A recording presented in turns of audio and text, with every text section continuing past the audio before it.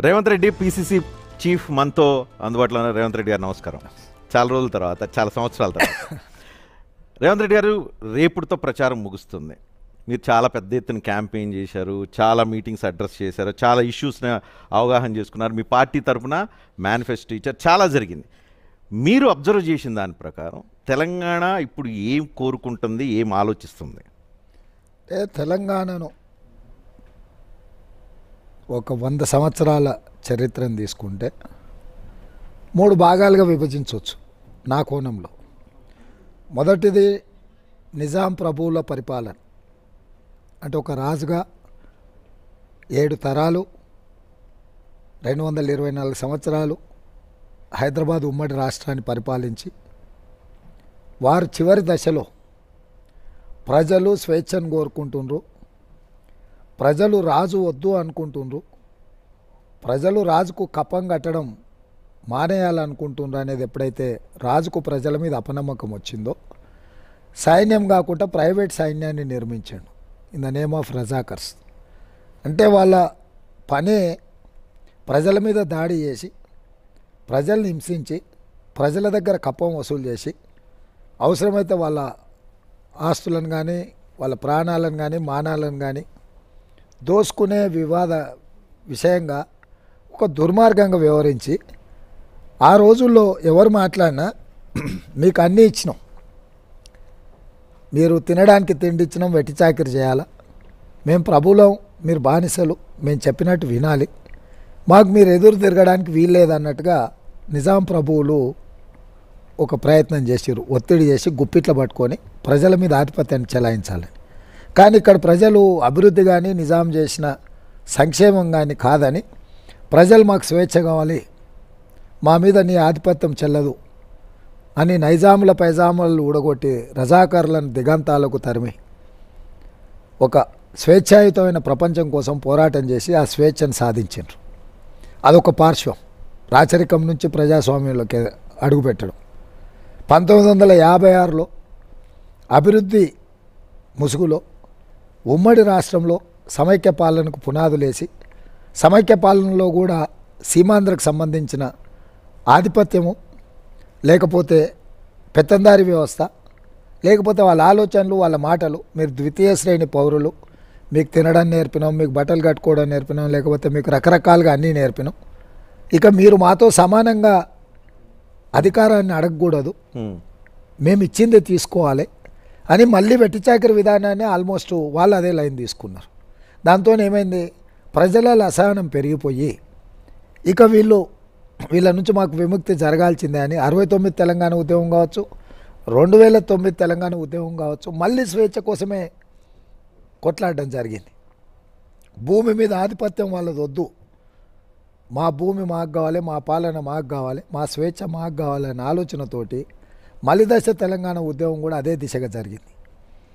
రెండు వేల పద్నాలుగులో రాష్ట్రం ఏర్పడిన తర్వాత అధికారంలోకి వచ్చిన చంద్రశేఖరరావు ఆనాటి నిజాంను మొన్నటి సమైక్య పాలనను ఆదర్శంగా తీసుకొని మళ్ళీ అక్కడికే వచ్చాను మీకు షాది ముబారక్ ఇచ్చిన కళ్యాణ లక్ష్మి ఇచ్చిన రైతు బంధు ఇచ్చిన బీసీ బంధు ఇచ్చిన మైనారిటీ బంధు ఇచ్చిన మీకు కావాల్సిన అన్నీ నేను ఇచ్చిన ఇంకేం కావాలి మీకు?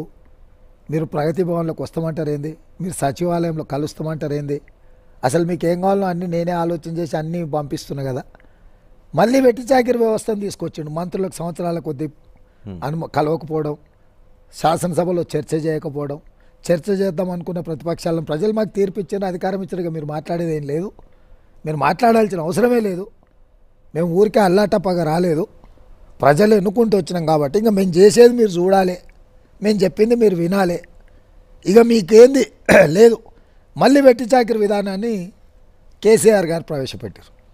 అంటే ఇక్కడ నిజాం ఏ విధానాన్ని తీసుకున్నాడో ఆ విధానం మీద ప్రజలు జరిగిన తిరుగుబాటు సాయుధ రైతాంగ పోరాటం నుంచి పాఠం నేర్చుకోలే.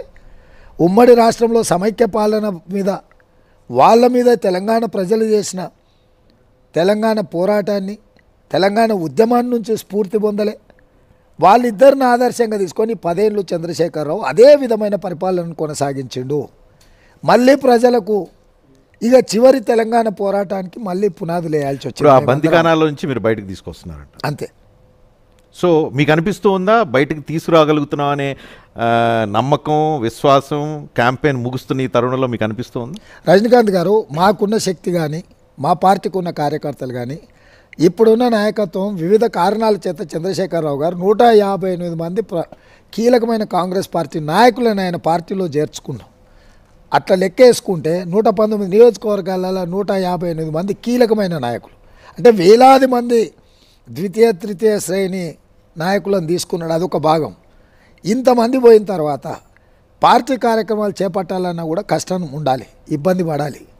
కానీ ఈరోజు ఏదైనా చూసారు మన తుక్కుగూడలో జరిగిన మా విజయబేరి కావచ్చు అంతకంటే ముందు దళిత గిరిజన దండోర కావచ్చు విద్యార్థి నిరుద్యోగ ఘర్షణ కావచ్చు లేకపోతే వరి దీక్ష కావచ్చు ఇట్లా రెండు సంవత్సరాల నుంచి కంటిన్యూస్గా కార్యక్రమాలు తీసుకొని ప్రజలకి వెళ్తూనే ఉన్నాం. ఈ పరీక్షా పత్రాలు లీక్ అయినప్పుడు కూడా జిల్లాల వారీగా మేము పోయి చేసిన ధర్నాలు కావచ్చు నిరసనలు కావచ్చు. ఈ అన్ని కార్యక్రమాలల్లో మాకున్న శక్తికి అక్కడ భాగస్వామ్యం తీసుకుంటున్న ప్రజలు కావచ్చు రైతులు కావచ్చు విద్యార్థులు కావచ్చు నిరుద్యోగ యువకులు కావచ్చు పొంతనే లేదు. మా శక్తి ఒక ఐదు వేల మందిని కూడగట్టే శక్తి కాంగ్రెస్ పార్టీకి ఉంటే యాభై వేల మంది అక్కడికి వచ్చి కూర్చుంటున్నారు. ఒంటి గంటకు సమావేశం అనుకుంటే ఐదు గంటలైన నాలుగు గంటలు. నేను విన్నా నేను చూడలేదు. ఎన్టీఆర్ ఉన్నప్పుడు ఎన్టీఆర్ గారు వస్తున్నట్టునో ఇందిరాగాంధీ గారు ఉన్నప్పుడు ఇందిరాగాంధీ గారు వస్తున్నట్టునో మధ్యాహ్నం వస్తుంటే అర్ధరాత్రికి వస్తే కూడా దుప్పట్లు కింద వేసుకొని పండుకొని వాళ్ళకి ఎదురు చూసేటోళ్ళని విన్నా. ఈరోజు నేను కల్లారో చూస్తున్నా. వేలాది మంది గంటల కొద్దీ నిరీక్షించి మేము ఏం చెప్తున్నామో వినాలన్న ఆసక్తి చూపిస్తున్నంటే తప్పకుండా కింద ఒక ముసలం పుట్టింది. అంటే ఎందుకు అంత ముస్లిం పుట్టడానికి కారణం ఏం కనిపిస్తుంది? రెండు మూడు నెలల వరకు లేని ఇది ఇప్పుడు సడన్గా వచ్చింది అని అంటే నిజంగా వచ్చిందా? మీరు క్రియేట్ చేస్తున్న ఒక ఆర్టిఫిషియల్ ఒక ఇల్యూజన్ అనుకోవాలా? దాన్ని బబుల్ అనుకోవాలా? రజనీ గారు బంగారు తెలంగాణ అనేది ఆర్టిఫిషియల్. మేము చేస్తున్నది ఆర్టిఫిషియల్ కాదు. మీరు అంటే మీరనే కాదు చాలా వరకు మీడియా కానీ రాజకీయ విశ్లేషకులు కానీ కొన్ని వాస్తవాలను తెలియకోకుండానే వాటిని ప అంటే గమనించడం మానేసారు నేను ఫర్ ఎగ్జాంపుల్ ఓ రెండు ఉదాహరణలు చెప్తా. రెండు వేల పద్దెనిమిదిలో ఎనభై ఎనిమిది సీట్లతో చంద్రశేఖరరావు గారు చాలా స్ట్రాంగెస్ట్ గవర్నమెంట్ ఏర్పడ్డది. రెండు వేల పంతొమ్మిది ఏప్రిల్లో పార్లమెంట్ ఎలక్షన్లు జరిగితే ఆ మెజారిటీ ప్రకారం మినిమం పదిహేను పార్లమెంట్ సీట్లు గెలవాలి. ఒకటి ఆరు ఏదైనా మిస్ అయినా. ఎంఐఎం వాళ్ళదే కాబట్టి పదహారు గెలవాలి. కానీ ఫిఫ్టీ పర్సెంట్ ఓడిపోయిండు. రెండు సీట్లు అయితే ఏడు సీట్లు అపోజిషన్ గెలిచింది తొమ్మిది సీట్లు ఆయన గెలిచిండు ఓ సీట్ ఎంఐఎం గెలిచింది. రెండు సీట్లు Chevella and Zaheerabad six thousand ఒక దాంట్లో ఫిఫ్టీన్ థౌజండ్ ఒక దాంట్లో ఇట్స్ ఎ నెగ్లిజిబుల్ మార్జిన్ ఆ మార్జిన్ కూడా జస్ట్ బికాస్ ఆఫ్ వాళ్ళకి ఆ మెజారిటీ రావడానికి ఎంఐఎం కాదు. వాళ్ళ పార్టీ స్ట్రెంత్ కాదు. హ్మ్. సో రెండు వేల పద్దెనిమిదిలో అధికారంలోకి వచ్చిన చంద్రశేఖరరావును రెండు వేల పంతొమ్మిదిలో నాలుగు నెలల తర్వాతనే యాభై శాతం పైగా ఓడిచ్చేసిండ్రు. ఇదొక కొలబద్ద. రెండోది గ్రేటర్ హైదరాబాద్లో ఎన్నికలు జరిగితే నూట యాభై సీట్లు ఉన్నాయి ఎవరం పోటీ చేసినా అవతల నలభై ఐదు మనం అనున్నా కాదన్నా నలభై ఐదు నలభై ఆరు సీట్లు ఎంఐఎంకు వాళ్ళు ఏదో రకంగా వాళ్ళ ఖాతాలనే పడుతున్నాయి గత రెండు మూడు ఎన్నికల నుంచి. పోటీ జరిగేదే నూరు నూట ఐదు. రెండు వేల పదహారులో తొంభై తొమ్మిది సీట్లు గెలిచింది బీఆర్ఎస్. మొన్న జరిగిన రెండు వేల ఇరవై ఒకటిలో జరిగిన మున్సిపల్ ఎలక్షన్లో యాభై శాతం ఓడిపోయింది. యాభై సీట్లే గెలిచిండ్రు. అంటే ఉప ఎన్నికలు ఒక నాలుగు జరిగినాయి అసెంబ్లీలలో హుజూర్ నగర్ నాగార్జున సాగర్ దుబ్బాక హుజూరాబాద్. నాలుగులో రెండు ఓడిపోయినరు ప్రజలు ఎక్కడ కేసీఆర్ని క్షమించిండ్రు? సేమ్ ఇక్కడే ఒక థీరీ చెప్తాను. ఈ చెప్పిన మీరు నాలుగు ఉప ఎన్నికల్లో కాంగ్రెస్ పార్టీకి వచ్చిన ఓట్లు హుజురాబాద్లో అయితే మూడు వేలు చిల్లర వచ్చినాయి. దుబ్బాకలో చూస్తే పదిహేను వేలు సంథింగ్ ఇరవై ఇరవై ఐదు. ఇరవై ఇరవై ఐదు వేలు వచ్చినాయి. నాగార్జున సాగర్లో సరే మంచిగానే వచ్చినా కూడా ఓడిపోయిన పరిస్థితి కనిపిస్తుంది. మీకు మునుగోడులో చూస్తే ఓటమి దారుణ థర్డ్ ప్లేస్లో. సో ఒక ఆరు నెలల క్రితము సంవత్సరం ఆరు నెలల మధ్యలో జరిగిన ఉప ఎన్నికల్లో ఇంత దారుణమైన ఓట్లు వచ్చిన పార్టీకి సడన్గా ఇంత రేజ్ వచ్చిందని అంటే ఏ రీజన్ ఏదో ఒకటి ఉండాలి కదా. డెఫినెట్గా సో ఇక్కడ మొదట నేను చెప్పింది ఏంటంటే రెండు వేల పద్దెనిమిది శాసనసభ ఎన్నికల తర్వాత కేసీఆర్ బలహీన పడుతూ వచ్చిండు. కేసీఆర్ బలహీన పడుతూ వచ్చిన విషయాన్ని మీడియాలో ఎక్కడ మనం చర్చించుకోలేదు. కేసీఆర్ దాన్ని గుర్తించిండో లేదో నాకు తెలియదు కానీ గుర్తించినట్టుగా వ్యవహరించలేదు. నెంబర్ వన్ నెంబర్ టూ ఆ ఎన్నికలలో ఫలితాలు సాధించింది బీజేపీ. ప్రత్యామ్నాయం బీజేపీ అనే చర్చకు వచ్చింది. ఒక స్టేజ్లో బీజేపీ ఇంకా అయిపోయింది అధికారంలోకి వస్తుందేమో అన్నంత లెవెల్లో ప్రజలకు ఒక ఆలోచన కల్పించింది. దాంతో బీఆర్ఎస్లకు పోయిన వాళ్ళు పోవంగా కాంగ్రెస్లో ఉన్న కీలకమైన నాయకులు బీజేపీలోకి వెళ్ళిపోయారు అంటే కేసీఆర్కు ప్రత్యామ్నాయం ప్రత్యామ్నాయమైన ప్లాట్ఫాము బీజేపీ. కేంద్రంలో అధికారంలో ఉంది. కేసీఆర్ మీద చర్యలు తీసుకుంటారు. కేసీఆర్ అవినీతి విషయంలో కావచ్చు పరిపాలన వైఫల్యాలను కావచ్చు బీజేపీ ధీటుగా ఎదుర్కొంటుంది. నరేంద్ర మోడీ గారి నాయకత్వంలో తెలంగాణలో ప్రభుత్వాన్ని ఏర్పాటు చేయొచ్చు. మా రాజకీయ భవిష్యత్తు మా విధానాలు అన్నీ కూడా అమలు జరుగుతాయని చెప్పి వీళ్ళందరూ అటువైపు వెళ్ళారు కొంత దూరం పోయిన తర్వాత బీజేపీలో జరిగిన పరిణామాలు తీసుకున్న నిర్ణయాలు ఆ పార్టీ పట్ల విశ్వాసం కోల్పోయింది. ఆ పార్టీ నాయకత్వము ప్రజల బలాన్ని కోల్పోయింది. దాంతో ప్రజలు రెండు వేల పంతొమ్మిది నుంచి సందర్భం వచ్చినప్పుడల్లా కేసీఆర్ను ఓడించడానికి నిటారుగా నిలబడి కొట్లాడారు ఆ నిటారుగా నిలబడి కొట్లాడడం కారణము యువతల వైపు నుంచి కేసీఆర్ పరిపాలనలో స్వేచ్ఛ లేదు సామాజిక న్యాయం లేదు సమానమైన అభివృద్ధి లేదు ప్రజాస్వామిక విలువలు అసలే లేవు.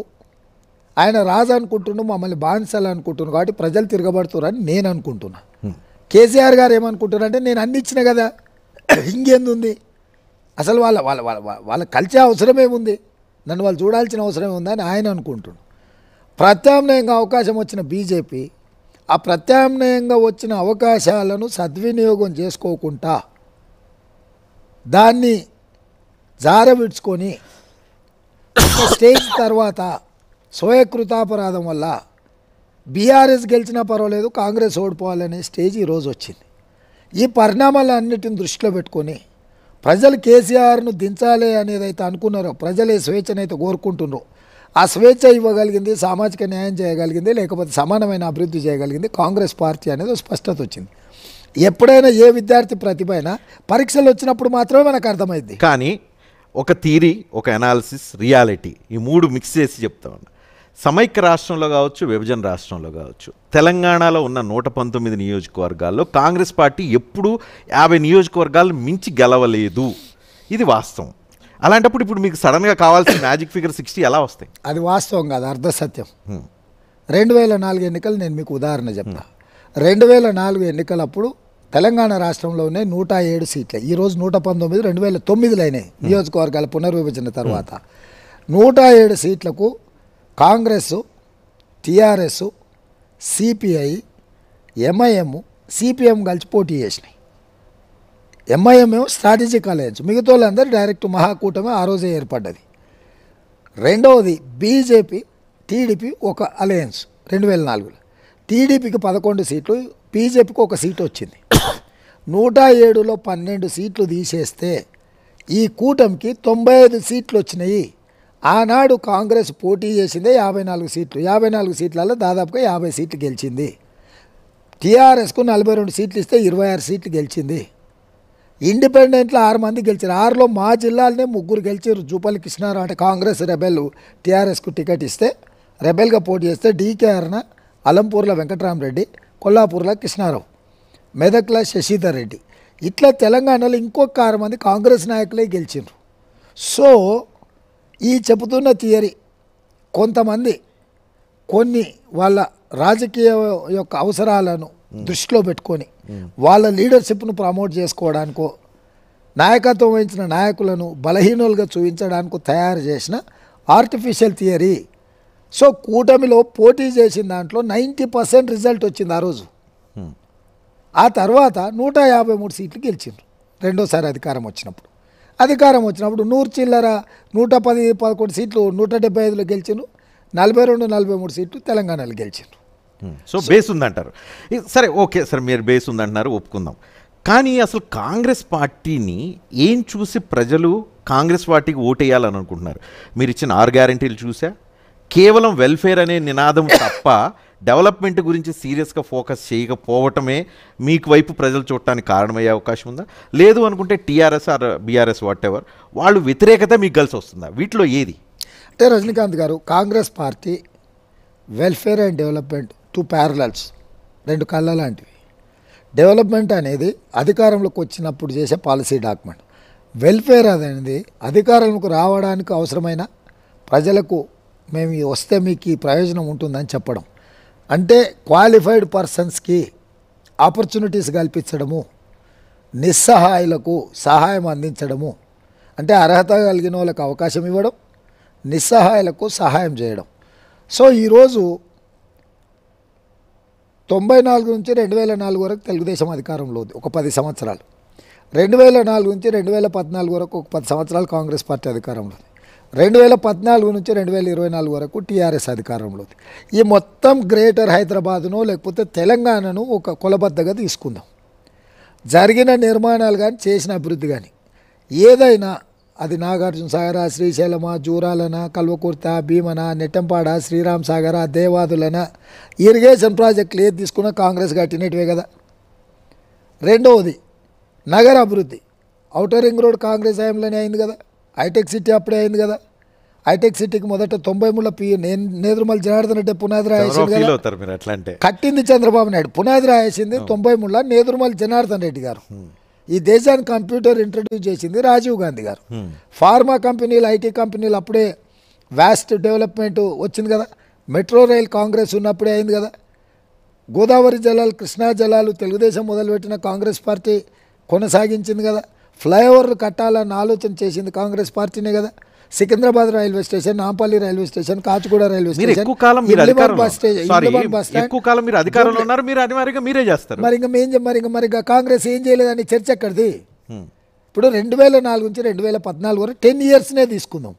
Outer ring road hitech city IT కంపెనీలు అవుటర్ అంటే ఇంటర్నేషనల్ ఎయిర్పోర్టు ఫార్మా కంపెనీలు మెట్రో రైలు కృష్ణానది జలాలు హైదరాబాద్లో శాంతి భద్రతలను పరిరక్షించడం ఈ పదేళ్ళలో జరిగింది కదా. ఈ ప- అన్ని పదేళ్ళలో వచ్చిన స్ట్రక్చర్స్ కదా రజనీకాంత్ గారు ఇంక్లూడింగ్ నెక్లెస్ రోడ్డు.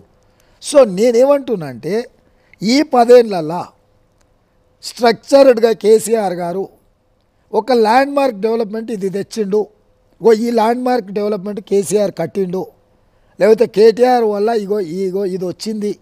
అని ఏదైనా ఒక్కటి చూపించండి. నేను నేను కాంగ్రెస్ హయాంలో ఒక పది పెద్దవి చూపిస్తా మీకు. హ్మ్. కంపెనీలు కావచ్చు పరిశ్రమలు కావచ్చు. వెనక్కి వెళ్తే నేను బిహెచ్ఎల్ బిఈఎల్ ఆర్డినెన్స్ ఫ్యాక్టరీలు కొన్ని పదకొండు వందల పరిశ్రమలు వచ్చినాయి. అవన్నీ నేను చెప్తలేను. Just ten years Congress party పరిపాలనను UPA one and two KCR one and two పరిపాలనలు ఈ రెండింటిని ప్రోగ్రెస్ రిపోర్ట్ తీసుకుందాము. ఆ పదేళ్ళలో మాకు వచ్చిన బడ్జెట్ ఎంత? మేము చేసిన అభివృద్ధి ఎంత? రెండు వేల పద్నాలుగు నుంచి ఇప్పటి వరకు కేసీఆర్ చేతికి వచ్చిన బడ్జెట్ ఎంత? కేసీఆర్ చేసిన అభివృద్ధి ఎంత? కనిపించే అభివృద్ధి ఎక్కడుంది? కానీ ఇప్పుడు ఈ ఎన్నికలకు వెళ్ళే ముందు మీరు అభివృద్ధి ఆలోచన అభివృద్ధి ప్రణాళిక ఎజెండా ప్రజల ముందు పెట్టకుండా అధికారంలోకి వచ్చిన తర్వాత చేసే డాక్యుమెంటు అని చెప్పి తప్పించుకోవటం కదా? ఏం అభివృద్ధి చేస్తారని స్పెసిఫిక్ చేయాలి కదా? మీరు చెప్తున్నారు తెలంగాణ ఇంత అభివృద్ధి చేసాం లేకపోతే సమైక్య రాష్ట్రంలో చేసాం విడిగా చేసాం అని చెప్తున్నారు. చెప్తే ఇప్పుడు నెక్స్ట్ మేము అధికారంలోకి వస్తే పలానా డెవలప్మెంట్ ఉంటుందని క్రిస్టల్ క్లియర్గా చెప్పలేకపోవడం కాంగ్రెస్ వైఫల్యం కదా? ఇప్పుడు మూడు రాజకీయ పార్టీలు ఎన్నికలలో పోటీ చేస్తున్నాయి. బీజేపీ పాలసీ డాక్యుమెంట్లు ఏమైనా ఉందా? పోనీ పదేళ్ళు అధికారంలో ఉన్నాడు మళ్ళీ ఇంకొక ఐదేళ్ళు కావాలంటుండు. కేసీఆర్ ఎక్కడైనా విజన్ డాక్యుమెంట్ ఏదన్నా చూపించిండా మనకు. చర్చ ఏం జరుగుతుంది. చర్చ ఈరోజు బీఆర్ఎస్ ఏమంటుంది? పేపర్లలో ఫుల్ పేజ్ యాడ్స్ ఇస్తుంది టీవీలలో ఫుల్ పేజ్ యాడ్స్ ఇస్తుండు. ఎక్కడ కూడా పదేళ్ళలో ఆయన సాధించిన విజయాలు ప్రచారం చేసుకుంటలేడు. అమ్మో కాంగ్రెస్ వస్తే కరెంట్ ఉంది అమ్మో కాంగ్రెస్ వస్తే కర్ఫ్యూ వస్తుంది అమ్మో కాంగ్రెస్ వస్తే కరువు వస్తుంది. భయపెట్టి బతకాలనుకుంటుండు. రౌడీ కూడా ఏమంటాడు? ఆ రౌడీగాడు వచ్చిందంటే మీ బతుకులు ఆగమైపోతాయి ఆ రౌడీగాడు వచ్చిందంటే ఇది అవుతుంది ఇట్లా రౌడీజం దబాయింపు ప్రచారాలు కల్పించి ప్రజల్ని భయపెట్టి లొంగ తీసుకోవాలనుకుంటుండు. ఎందుకు పాజిటివ్ క్యాంపెయినింగ్ చేయడం లేదు? ఈరోజు నువ్వు అధికారంలో ఉన్నావు తెలంగాణ వచ్చిన తర్వాత మొట్టమొదటి ముఖ్యమంత్రివే నువ్వు. అసలు దేశానికే ఆదర్శంగా ఉండాల్సిన తెలంగాణ ఉందని నువ్వు చెప్తున్నావు. నువ్వు ఏం చేసినావో చెప్పుకోకుండా రేపు భవిష్యత్తులో ఏం చేస్తావో చెప్పకుండా కాంగ్రెస్ను బూచిగా చూపించి కేసీఆర్ ఓట్లు అడుగుతుండంటేనే కాంగ్రెస్ను చూసి కేసీఆర్ భయపడుతుండు. కాంగ్రెస్ను చూపించి ప్రజల్ని రేపు భయపెట్టాలనుకుంటున్నాడు భయపడటానికి రీజన్ ఒకటి చెప్పండి. కాంగ్రెస్ కాంగ్రెస్ను చూసి భయపడటానికి ఏంటి? కాంగ్రెస్ అధికారంలోకి వస్తే ఏమన్నా ఇద్దని భయమా? లేకపోతే రేవంత్ రెడ్డి అధికారంలోకి వస్తే ఏమన్నా ఇద్దనా? ఏంటి ఏం భయం ఉండే అవకాశం ఉంది? అధికారం కోల్పోతున్నాము. ఆయన శాశ్వతం అనుకున్నాడు. ఆయన బ్రతుకున్నంత కాలం ఆయననే ప్రజలు శాశ్వత ముఖ్యమంత్రిగా ఉంచుతారు. పోత పోత నా కొడుక్కి ఇవ్వచ్చని పీఠాధిపతులు మఠాధిపతులు రాజులు వారసత్వంగా బాధ్యతలు ఇచ్చిపోతారు మీకు తెలుసు కదా. సో అట్లనే పీఠాధిపతులు మఠాధిపతులు వారసత్వం కింద ఇచ్చినట్టు వారసత్వం కింద కొడుకుకి ఇద్దామని కేసీఆర్ గారు కలలుగా అన్నారు కొడుకు కూడా అదే ఆశించండు. వారసత్వం కింద నాకు ఆటోమేటిక్గా వచ్చేస్తుంది. సో ఈ వారసత్వ రాజకీయాల కింద మనం అయిపోతాము అని ఆయన అనుకున్నాడు. సడన్గా కళ చెదిరిపోయింది కళ చెదిరిపోవడంతో ఉలిక్కిపడి లేచి అర్థం కాని గందరగోళంలో ఈ రోజు మాట్లాడింది రేపు మాట్లాడతలేరు. పొంతనే లేదు వాళ్ళ మాటలలో రైట్ కాంగ్రెస్ పార్టీ గురించి ఏంటి అనేది మాట్లాడదాం. కానీ ఇందాక నేను మిస్ అయిపోయిన క్వశ్చన్ ఒకటి ఉంది. గ్యారంటీలు వెల్ఫేర్ అనే ఒక అంశం. సారీ ఇలా అనకూడదు. ప్రజలని బిచ్చగాళ్ళుగా చేసే ప్రయత్నం. కాంగ్రెస్ పార్టీ అలివిగాని వెల్ఫేర్ స్కీమ్స్ అన్ని అధికారం కోసం మీరు బరి తెగించి స్కీములు పెట్టారు అనే ఒక ఫీలింగ్ ఒక ఒక ఎడ్యుకేటెడ్ సెక్షన్ అనుకోండి కాంగ్రెస్ని విభేదించి లేకపోతే వెల్ఫేర్ని విభేదించే వాళ్ళు కానీ వాళ్ళు అనే ఫీలింగ్లో ఉన్నారు. వాళ్ళకేం సమాధానం చెప్తారు? రజనీకాంత్ గారు అసలు ఆలోచన అలా మాట్లాడడమే నేరం. ప్రభుత్వం అనేది అర్హులకు అవకాశం కల్పించడం ఒక భాగం. అంటే చదువుకున్న వాళ్ళకు ఉద్యోగం ఇవ్వడం చదువుకున్న వాళ్ళకు ఉపాధి కల్పించడం చదువుకున్న వాళ్ళు వృత్తి నైపుణ్యం ఉన్నోళ్ళు స్కిల్డ్ లేబర్ ఎవరైనా ఉంటే వాళ్ళకు బ్యాంక్ లోన్స్ ఇవ్వడం కానీ వాళ్ళు ఏమైనా ఇన్వెస్ట్మెంట్ చేసి ఏమైనా బిజినెస్ స్టార్టప్స్ ఏదైనా చేసుకోవడం కానీ లేకపోతే బ్యాంకులలో సబ్సిడీలు ఇవ్వడం కానీ ఇన్పుట్ సబ్సిడీ ఇవ్వడం కానీ ఒక ప్రాజెక్టు వాయబుల్ గ్యాప్ ఫండ్ కింద మనం ఇవ్వడం కానీ లేకపోతే ట్యాక్స్ ఎగ్జామ్షన్ ఇవ్వడం కానీ ఇదంతా కూడా ఒక రకమైన వెల్ఫేరే. ఎందుకు? వీడికి ఆ- ఆ సహాయం చేస్తే ఆ సహాయం వల్ల వాళ్ళు నిలదొక్కొని యాభై మందికో వంద మందికో వెయ్యి మందికో ఉద్యోగాలు ఇస్తారని ఇలా భూముల కేటాయింపులు జరిగినాయి చాలా ఐటీ కంపెనీలకు. పల్లి బఠానీల ధరల కంటే కూడా తక్కువకు భూములు ఇచ్చిన సందర్భాలు ఉన్నాయి. ఎందుకు ఇచ్చిండ్రు? ఆ ఐటీ కంపెనీ రావడమో లేకపోతే ఆ పరిశ్రమ రావడమో పారిశ్రామిక వాడలలో వాళ్ళు పెట్టుబడులు పెట్టి పరిశ్రమలు తెస్తే పరిశ్రమలలో ఇక్కడ చదువుకున్న యువకులకు ఉద్యోగాలు ఉపాధి దొరుకుతుంది. దాని తర్వాత దాని చుట్టూతో యాంక్సిలరీ యూనిట్స్ దాని సపోర్టింగ్ మెకానిజంలో ఇతర చిన్న పరిశ్రమలు కుటీర పరిశ్రమలు వస్తే వీళ్ళందరికీ ఉపాధి ఉద్యోగం దొరుకుతుందని చెప్పి ప్రభుత్వం వాళ్ళకు రాయితీలు ఇచ్చిండ్రు. వాళ్ళకి మినహాయింపులు ఇచ్చిండ్రు. నరేంద్ర మోడీ ఈ దేశానికి ప్రధానమంత్రి అయిన తర్వాత కార్పొరేట్ కంపెనీలకు పదమూడు లక్షల కోట్ల బ్యాంకు రుణాలను రద్దు చేసిండు. ఏ ఒక్కరు కూడా నీరవ్ మోడీకో విజయ్ మాల్యాకో లేకపోతే ఇంకొక మోడీకో వేలాది లక్షలాది కోట్ల రూపాయల బ్యాంకు రుణాలను రద్దు చేస్తే ఎవ్వరు చర్చ పెట్టలే. పది మందికి పట్టుమని లేరు. పదమూడు లక్షల కోట్లు వాళ్ళకు ఇచ్చిన రుణాలను మాఫ్ చేసిండ్రు. కానీ ఏ సామాన్యుడు ఏ ఏ- ఏ ఏ మేధావి కానీ ఏ ప్రపంచం అంతా చదువుకున్న అనుడు ఎవడు అది మాట్లాడాడు? ఊర్లో వయసు మీద పడి పిల్లలుండో పిల్లలు లేకనో పిల్లలు ఉన్న తల్లిదండ్రులకు అన్నం పెట్టకపోతే నాలుగు వేలు పెన్షన్ ఇస్తే దాని మీద చర్చ చేస్తారు. ఓ ఆడబిడ్డ కుటుంబాన్ని పోషించుకోవడానికి రెండు వేల ఐదు వందల ఆర్థిక సహాయాన్ని అందిస్తే దాని మీద చర్చ చేస్తారు. క్వశ్చన్ దాని గురించి కాదు. రాష్ట్రం ఇలాంటి వెల్ఫేర్ స్కీమ్స్ ఓట్ బ్యాంక్ కోసం క్రియేట్ అయ్యే వెల్ఫేర్ స్కీమ్స్ వల్ల రాష్ట్ర డెవలప్మెంట్ కావచ్చు. మీరు ఇందాకంటే డెవలప్మెంట్ చాలా మాకు స్కోప్ ఉంది ఆలోచనలో ఉన్న విజన్ ఉందని. డెవలప్మెంట్ ఆగిపోతుంది వెల్ఫేర్ వల్ల. ఇదే వెల్ఫేర్ వల్ల అప్పులు చేయాల్సిన పరిస్థితి వస్తుంది. అధిగమించలేని పరిస్థితి వస్తుంది. రేపు ఈ వెల్ఫేర్ ఆపలేని పరిస్థితులు వస్తున్నాయి ఇలాంటి ఒక క్రైసిస్ సిచ్యువేషన్లోకి మీరు అధికారం కోసం రాష్ట్రాన్ని నెట్టబడుతూ ఉన్నారు. ఎగ్జాంపుల్ చాలామంది కర్ణాటక చెప్తూ ఉన్నారు. మీరు ఫ్రీ కరెంట్ అన్నారు అక్కడ. ఫ్రీ కరెంట్ ఇచ్చారు. తద్వారా ఎవరైతే చార్ కరెంటు రెండు వందల యూనిట్లు దాటిన వాళ్ళందరికీ ఛార్జీలు పెంచాల్సిన పరిస్థితి వచ్చింది. ఇలా చెప్పుకుంటూ పోతే చాలా పెద్ద చరిత్ర ఉంది. ఇలా తెలంగాణ కూడా అన్యాయం అయిపోతుందేమో అని కొంతమందికి ఫీలింగ్ రజనీకాంత్ గారు ఉచిత కరెంట్ ఇస్తా అన్న రోజు కూడా ఇదే మాటలు మాట్లాడు కరెంట్ తీగల మీద బట్టలు ఆరేసుకోవాలి. ఉచిత కరెంటు సాధ్యమే కాదు. మరి ఇరవై ఏళ్ళ నుంచి సాధ్యమైంది కదా. ఆయనలో తొమ్మిది గంటలు ఇస్తే వాళ్ళు వచ్చిన వాళ్ళు మేము ఇరవై నాలుగు గంటలు ఇస్తామంటారు కదా. ప్రతిసారి పేదోడికి ఏదైనా సంక్షేమ పథకాన్ని అందుబాటులోకి తీసుకురావాలనుకున్నప్పుడల్లా ఈ సూడో మేధావులు ఈ రకమైన చర్చలు చేస్తూనే ఉంటారు. ఆ చర్చను కూడా దృష్టిలో పెట్టుకునే ప్లానింగ్ చేస్తాము. కాంగ్రెస్ పార్టీ సింపుల్ పాలసీ ఆదాయాన్ని పెంచడం పేదలకు పంచడం. రెండవది వెల్ఫేర్ కోసము లోన్లు ఇవ్వరు. లోన్లు డెవలప్మెంట్కి మాత్రమే ఇస్తారు. వెల్ఫేర్ అనేది ప్రభుత్వానికి వచ్చిన ఆదాయము ప్రజలు కట్టిన పన్నులో నుంచి వచ్చిన ఆదాయాన్ని వెల్ఫేర్ మీద ఉపయోగిస్తాము. సో ఈరోజు ఓల్డ్ ఏజ్ పెన్షన్ అయినా మహిళకు ఆర్థిక సహాయమైనా చదువుకున్న పిల్లలకు ఫీజుల కోసం ఏమైనా గ్యారంటీ కార్డు ఇచ్చిన రైతులకు పెట్టుబడి సహాయం అందించిన వీళ్ళందరూ కూడా నిస్సహాయులు. వాళ్ళకి సహాయం చేయడం అనేది ప్రభుత్వం యొక్క బాధ్యత. ఆ బాధ్యత కోసం ఈ రా- ప్రభుత్వాలు ఉన్నాయి ప్రజలు ఎన్నుకుంటున్నారు ఇప్పుడు మీరే అంటున్నారు ప్రభుత్వం ప్రస్తుతం క్రైసిస్లో ఉంది డబ్బులు అయిపోయినాయి లేకపోతే డబ్బులు ఇన్ టైంలో రావట్లేదు కాబట్టి జీతాలు ఇన్ టైంలో ఇవ్వట్లేదు. కాంగ్రెస్ పార్టీ చాలా క్యాంపెయిన్లు చెప్తుంది. ఇప్పుడు మీరు వెల్ఫేర్ స్కీమ్స్ ఏవైతే అనౌన్స్ చేశారో మేనిఫెస్టోలో గ్యారంటీ కార్డు రూపంలో చెప్పారో వాటన్నిటికీ మోర్ దాన్ ల్యాక్ క్రోడ్స్ కనీసం లక్షన్నర నుంచి రెండు లక్షల కోట్లు ఖర్చు అయ్యే పరిస్థితి ఉంటుంది. సో ఇంత డబ్బులు ఆదాయం మీరు అంటున్నారు కదా ఆదాయాన్ని క్రియేట్ చేయటం ఖర్చు పంచిపెట్టడం అని. అసలు ఆదాయాన్ని క్రియేట్ చేసి ఆలోచన చేశారా? క్రియేట్ చేస్తే ఏదైనా ఆలోచన ఉందా? ఓటర్లకి ఈ విషయంలో ఎలాంటి స్పష్టత ఇవ్వగలుగుతారు? ఇప్పుడు ఇవన్నీ కూడా కలిపితే అరవై ఎనిమిది వేల కోట్ల ఆర్థిక భారం. ఈ రోజు రాష్ట్రానికి ఉన్న ఆదాయం ప్రతి నెల ఐదు పన్నెండు- సంవత్సరాలు రెండు లక్షల కోట్లు అవుద్ది. సో ప్రతి నెల పన్నెండు వేల కోట్ల ఆదాయం ఉంది రఫ్లీ అంటే ఒక సంవత్సరానికి దాదాపుగా లక్ష యాభై వేల కోట్ల రెవెన్యూ రిసీట్స్ ఉన్నాయి.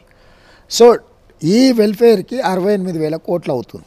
ఇప్పుడున్న దాంట్లో మిగతావి జీతాలు అంటే బడ్జెట్లో మీకు జీతభత్యాలు నిర్వహణ కోసం ప్లానింగ్ నాన్ ప్లానింగ్ అంటారు. సో దీంట్లో నాన్ ప్లానింగ్లో ఉన్న ఆఫీసులు మెయింటెనెన్స్ జీతాలు భత్యాలు వ్యవస్థ నడవడానికి అవసరమైన బడ్జెట్.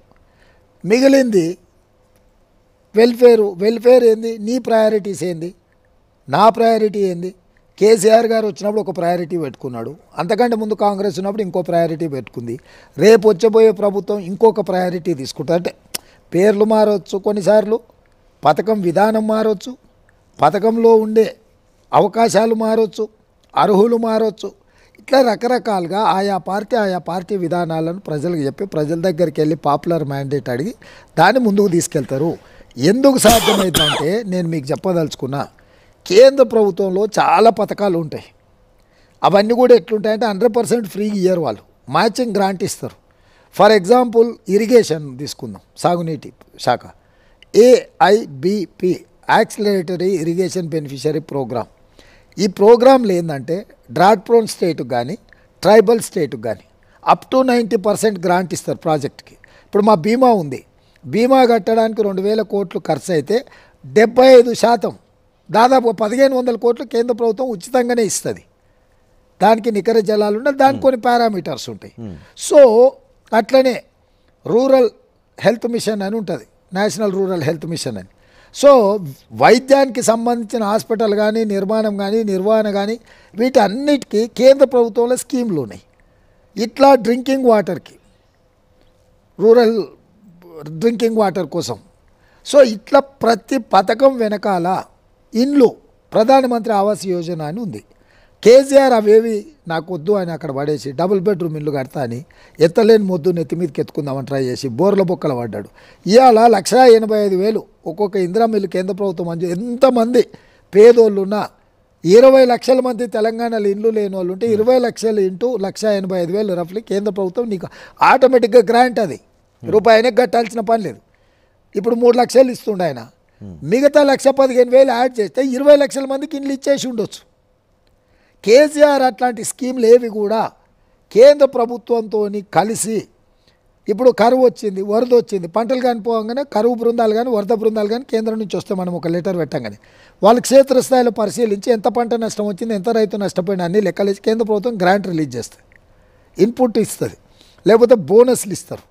సో వీటన్నిటిని కేసీఆర్ అవైల్ చేసుకోవడం మానేసిండు. ఇవన్నీ ప్రతి సంవత్సరం యావరేజ్గా ఒక యాభై వేల కోట్లు కేంద్ర ప్రభుత్వం నుంచి మనం ఉచితంగా తెచ్చుకోవచ్చు.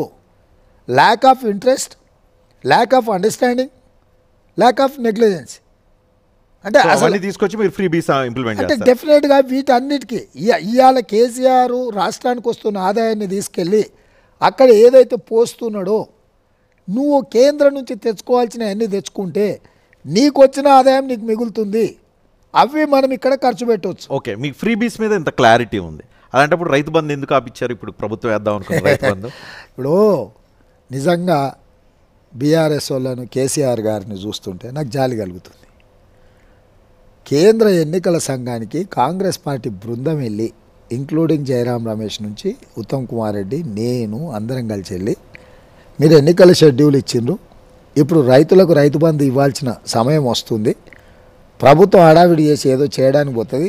నవంబర్ ఫిఫ్టీన్త్ లోపలనే రైతులందరికీ వాళ్ళ ఖాతాలలో నిధులు వేయండి అని చెప్పి మీరు ఎన్నికల అధికారికి డైరెక్షన్ ఇవ్వండి. ఎందుకంటే నో షెడ్యూల్ రాగానే నోటిఫికేషన్ రాగానే ప్రభుత్వం అనేది పోయి మొత్తం ఎన్నికల అధికారుల చేతులకు వెళ్ళిపోతుంది వ్యవస్థ. తక్షణమే మీరు స్టేట్ ఎలక్షన్ సీఓకి డైరెక్షన్ ఇవ్వమని మేము పోయి కలిసినాం. కలిసి మేము త్వరగా రైతుల ఖాతాలలో డబ్బులు వేయమని చెప్పినాం. వాళ్ళు పట్టించుకోలే. చివరికి మొన్న ఏదో రైతు బంధుకు అనుమతి ఇచ్చారు. రైతు బంధుకు అనుమతి ఇచ్చినప్పుడు దీన్ని ఎగ్జిక్యూట్ చేయాల్సింది ఎవరు? Chief secretary. ఒక్కసారి ఎన్నికల అధికారుల పర్యవేక్షణలకు పరిపాలన వెళ్ళిపోయిన తర్వాత స్టాఫ్ గ్యాప్ ఫెసిలిటీని ముఖ్యమంత్రి కానీ మంత్రులు కానీ ఆపద్ధర్మ ముఖ్యమంత్రి ఆపద్ధర్మ మంత్రులే. ఏ ప్రోటోకాల్ కానీ ఏ పాలసీ డెసిషన్ కానీ వాళ్ళు తీసుకోవడానికి లేదు. వాళ్ళకి అధికారం లేదు అర్హత లేదు. మాట్లాడితే వాళ్ళని శిక్షించాలి. సో అధికారులు చేయాల్సిన పనిని స్వార్థం కోసం రాజకీయ ప్రయోజనానికి వాడుకోవడం కోసం ఆర్థిక మంత్రి ఇరవై ఎనిమిది నాడు మేము ఇన్ని వేల కోట్లు మీ ఖాతాలలో వేస్తున్నాం టంగ టంగ టంగ టంగ మీకు గంట కొడుతుంది. ఆ టంగ టంగ టంగ సౌండ్కి మీరు హరీష్ రావు చెప్పిన దానికి మీరు కంగారు పెట్టి మీరు ఆపించడానికి ఆపించారా? అసలు మాకు సంబంధమే లేదు. ఎన్నికల నిరంజన్ రెడ్డి మీ పార్టీ సీనియర్ నాయకులు ఆయన వెళ్ళి ఎలక్షన్ కమిషన్ కంప్లైంట్ ఇచ్చారు? ఇయ్యలే అది తప్పు. నా పేరు మీదనే ఫేక్ లెటర్ మీ- పేరు మీద. రేవంత్ రెడ్డి లెటర్ రాసి అంటే అదే ఆ దివాలా కోరుతానం అనేది తెలుస్తుంది. నేను నిన్ననే ప్రెస్ పెట్టి ఏం చెప్పినా? వచ్చింది బాగానే ఉంది.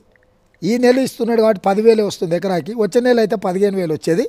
మిగతా బ్యాలెన్స్ కూడా నేను ఇస్తే ఇప్పుడు తీసుకోండి అని నేను అఫీషియల్గా ప్రెస్ మీట్ పెట్టి చెప్పిన కదా. మీ దాంట్లో వీడియోలు చూడండి. కానీ నేనేమంటున్నానంటే ఓకే రాజకీయ నాయకులు వచ్చిన ప్రతి సందర్భాన్ని వాడుకుంటారు. హరీష్ రావు కూడా వాడుకుంటే వాడుకొని ఉండొచ్చు. మీ అకౌంట్లో డబ్బులు పడుతున్నాయి. దానికి ఒకవేళ రైతు బంధు డబ్బులు గనక వాళ్ళ అకౌంట్లో పడితే ప్రజలు మీతో ఉన్నారంటున్నారు. మీకెందుకు కంగారు? మేము అసలు దానివల్ల మీకు ఏమైనా నష్టం జరుగుతుందని మీరు రజనీకాంత్? గారు మా పాత్రనే లేదు. మళ్ళీ ఐఎమ్ సారీ టు సే దీంట్లో రూలింగ్ పార్టీ కానీ అపోజిషన్ పార్టీ కానీ ఏం రోల్ లేదు. ఈ రోల్స్ అన్ని కూడా election commission of India freeze చేసేసుకుంది. వాళ్ళు తీసేసుకుండ్రు. సో ఇవాళ వేయమన్నది వాళ్ళే. వేసేదాన్ని మీరు రాజకీయంగా వాడుకుంటుండు హరీష్ రావు కాబట్టి దీన్ని ఆపుతున్నది అన్నది వాళ్ళే. సో ఇప్పుడు పిఆర్ఎస్ ఏదైనా అనదలుచుకుంటే chief election commission of India అని అనలేదన్న. వాళ్ళు అది ఇడిచిపెట్టేసి చేతగాంతనంతోటి అబద్ధాలతోటి నా పేరు మీద ఒక ఫేక్ లెటర్ సృష్టించి ఇది కాంగ్రెస్ వాళ్ళు ఆపినరని ఇది కాంగ్రెస్ వాళ్ళు దీని వెనకాల ఉండరని. అరే బాబా కేంద్రంలో అధికారంలో ఉన్నది బీజేపీ. అయితే గీతే చేస్తే బీజేపీ చేయాలి. మీరు తెల్లారు లెగిస్తే కేంద్రానికి అంటే బీజేపీ బీఆర్ఎస్ మధ్య గుడ్ రిలేషన్షిప్ ఉన్నాయి బీ టీము ఏ టీము ఇవన్నీ చెప్తుంటారు కదా. ఒకవేళ బీ టీంలు ఏ టీంలు అయితే రైతు బంధు ఎందుకు ఆపేసి ఉంటారు? ఆపలేదు అని అంటే వాళ్ళ మధ్య అండర్స్టాండింగ్ లేదనే విషయాన్ని మనం గుర్తించాల్సిన అవసరం ఉంటుందా కానీ ఈ పాయింట్ మాట్లాడాలంటే చిన్న బ్రేక్ తీసుకొని వస్తాను. బ్రేక్ టైం అయిపోయింది. బ్రేక్ తీసుకుందాం. BRS BJP A team B team అనే ఒక చర్చ సీరియస్గా కాంగ్రెస్ పార్టీ ప్రజల్లోకి తీసుకెళ్ళింది. అదేవిధంగా ఇందిరమ్మ రాజ్యం అనే ఒక పాయింట్ కూడా కాంగ్రెస్ పార్టీ బలంగా తీసుకెళ్ళింది. ఎందుకు ఇందిరమ్మ రాజ్యం అనే పాయింట్ తీసుకెళ్ళారు? అదేవిధంగా సీమాంధ్ర ఓట్లన్నీ మాయే అని చెప్పి కాంగ్రెస్ పార్టీ క్లెయిమ్ చేసుకోవటం వెనుక రీజన్స్ ఏంటి? రేవంత్ రెడ్డితో మరింత డిబేట్ ఉంటుంది. బ్రేక్ తర్వాత.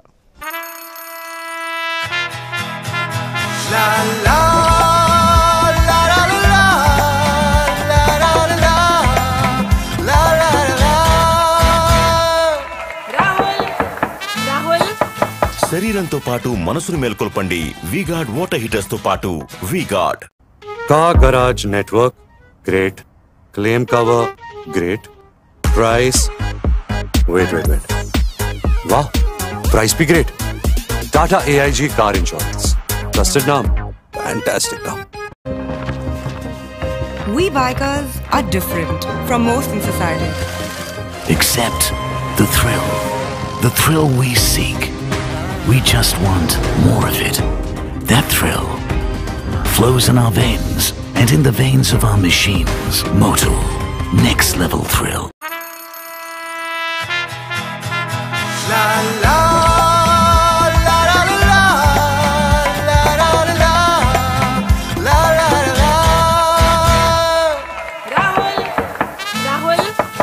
శరీరంతో పాటు మనసును మేల్కొల్పండి వీగార్డ్ వాటర్ హీటర్స్తో పాటు. వీగార్డ్ కా garage network great claim cover great price wait wait wait wow price be great Tata AIG car insurance trusted NAM fantastic నామ్ We bikers are different from most in society. Except the thrill. The thrill we seek. We just want more of it. That thrill flows in our veins and in the veins of our machines. Motul, next level thrill. La, la.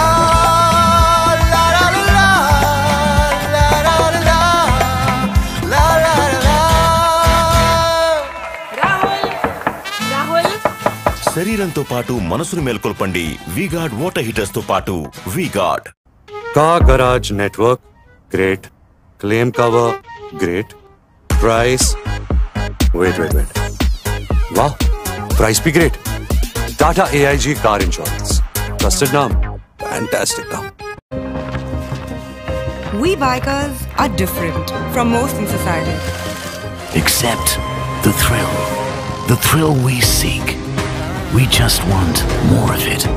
That thrill flows in our veins and in the veins of our machines. Motul, next level thrill. La, la.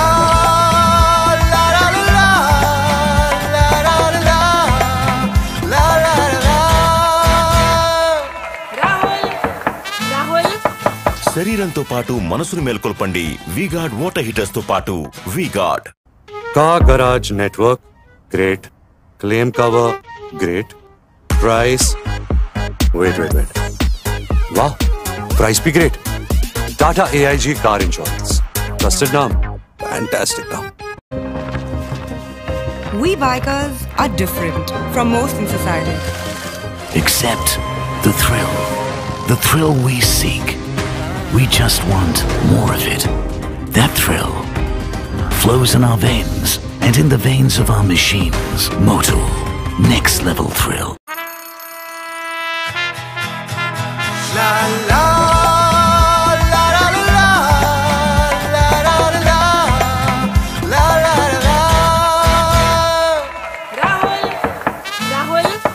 శరీరంతో పాటు మనసును మేల్కొల్పండి V-Guard water హీటర్స్తో పాటు వీగార్డ్ కా garage network great claim cover great price wait wait wait Wow, price be great.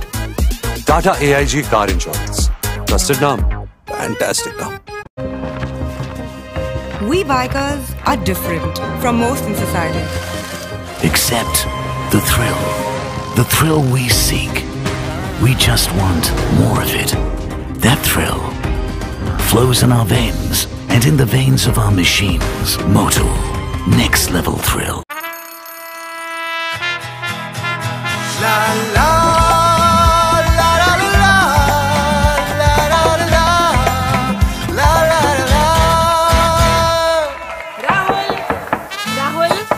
శరీరంతో పాటు మనసును మేల్కొల్పండి V-Guard water హీటర్స్తో పాటు వీగార్డ్ కా garage network great claim cover great price wait wait wait wow price be great Tata AIG car insurance Trusted name, fantastic name. We bikers are different from most in society. Accept the thrill. The thrill we seek. We just want more of it. That thrill flows in our veins and in the veins of our machines. Motul. Next level thrill. la la la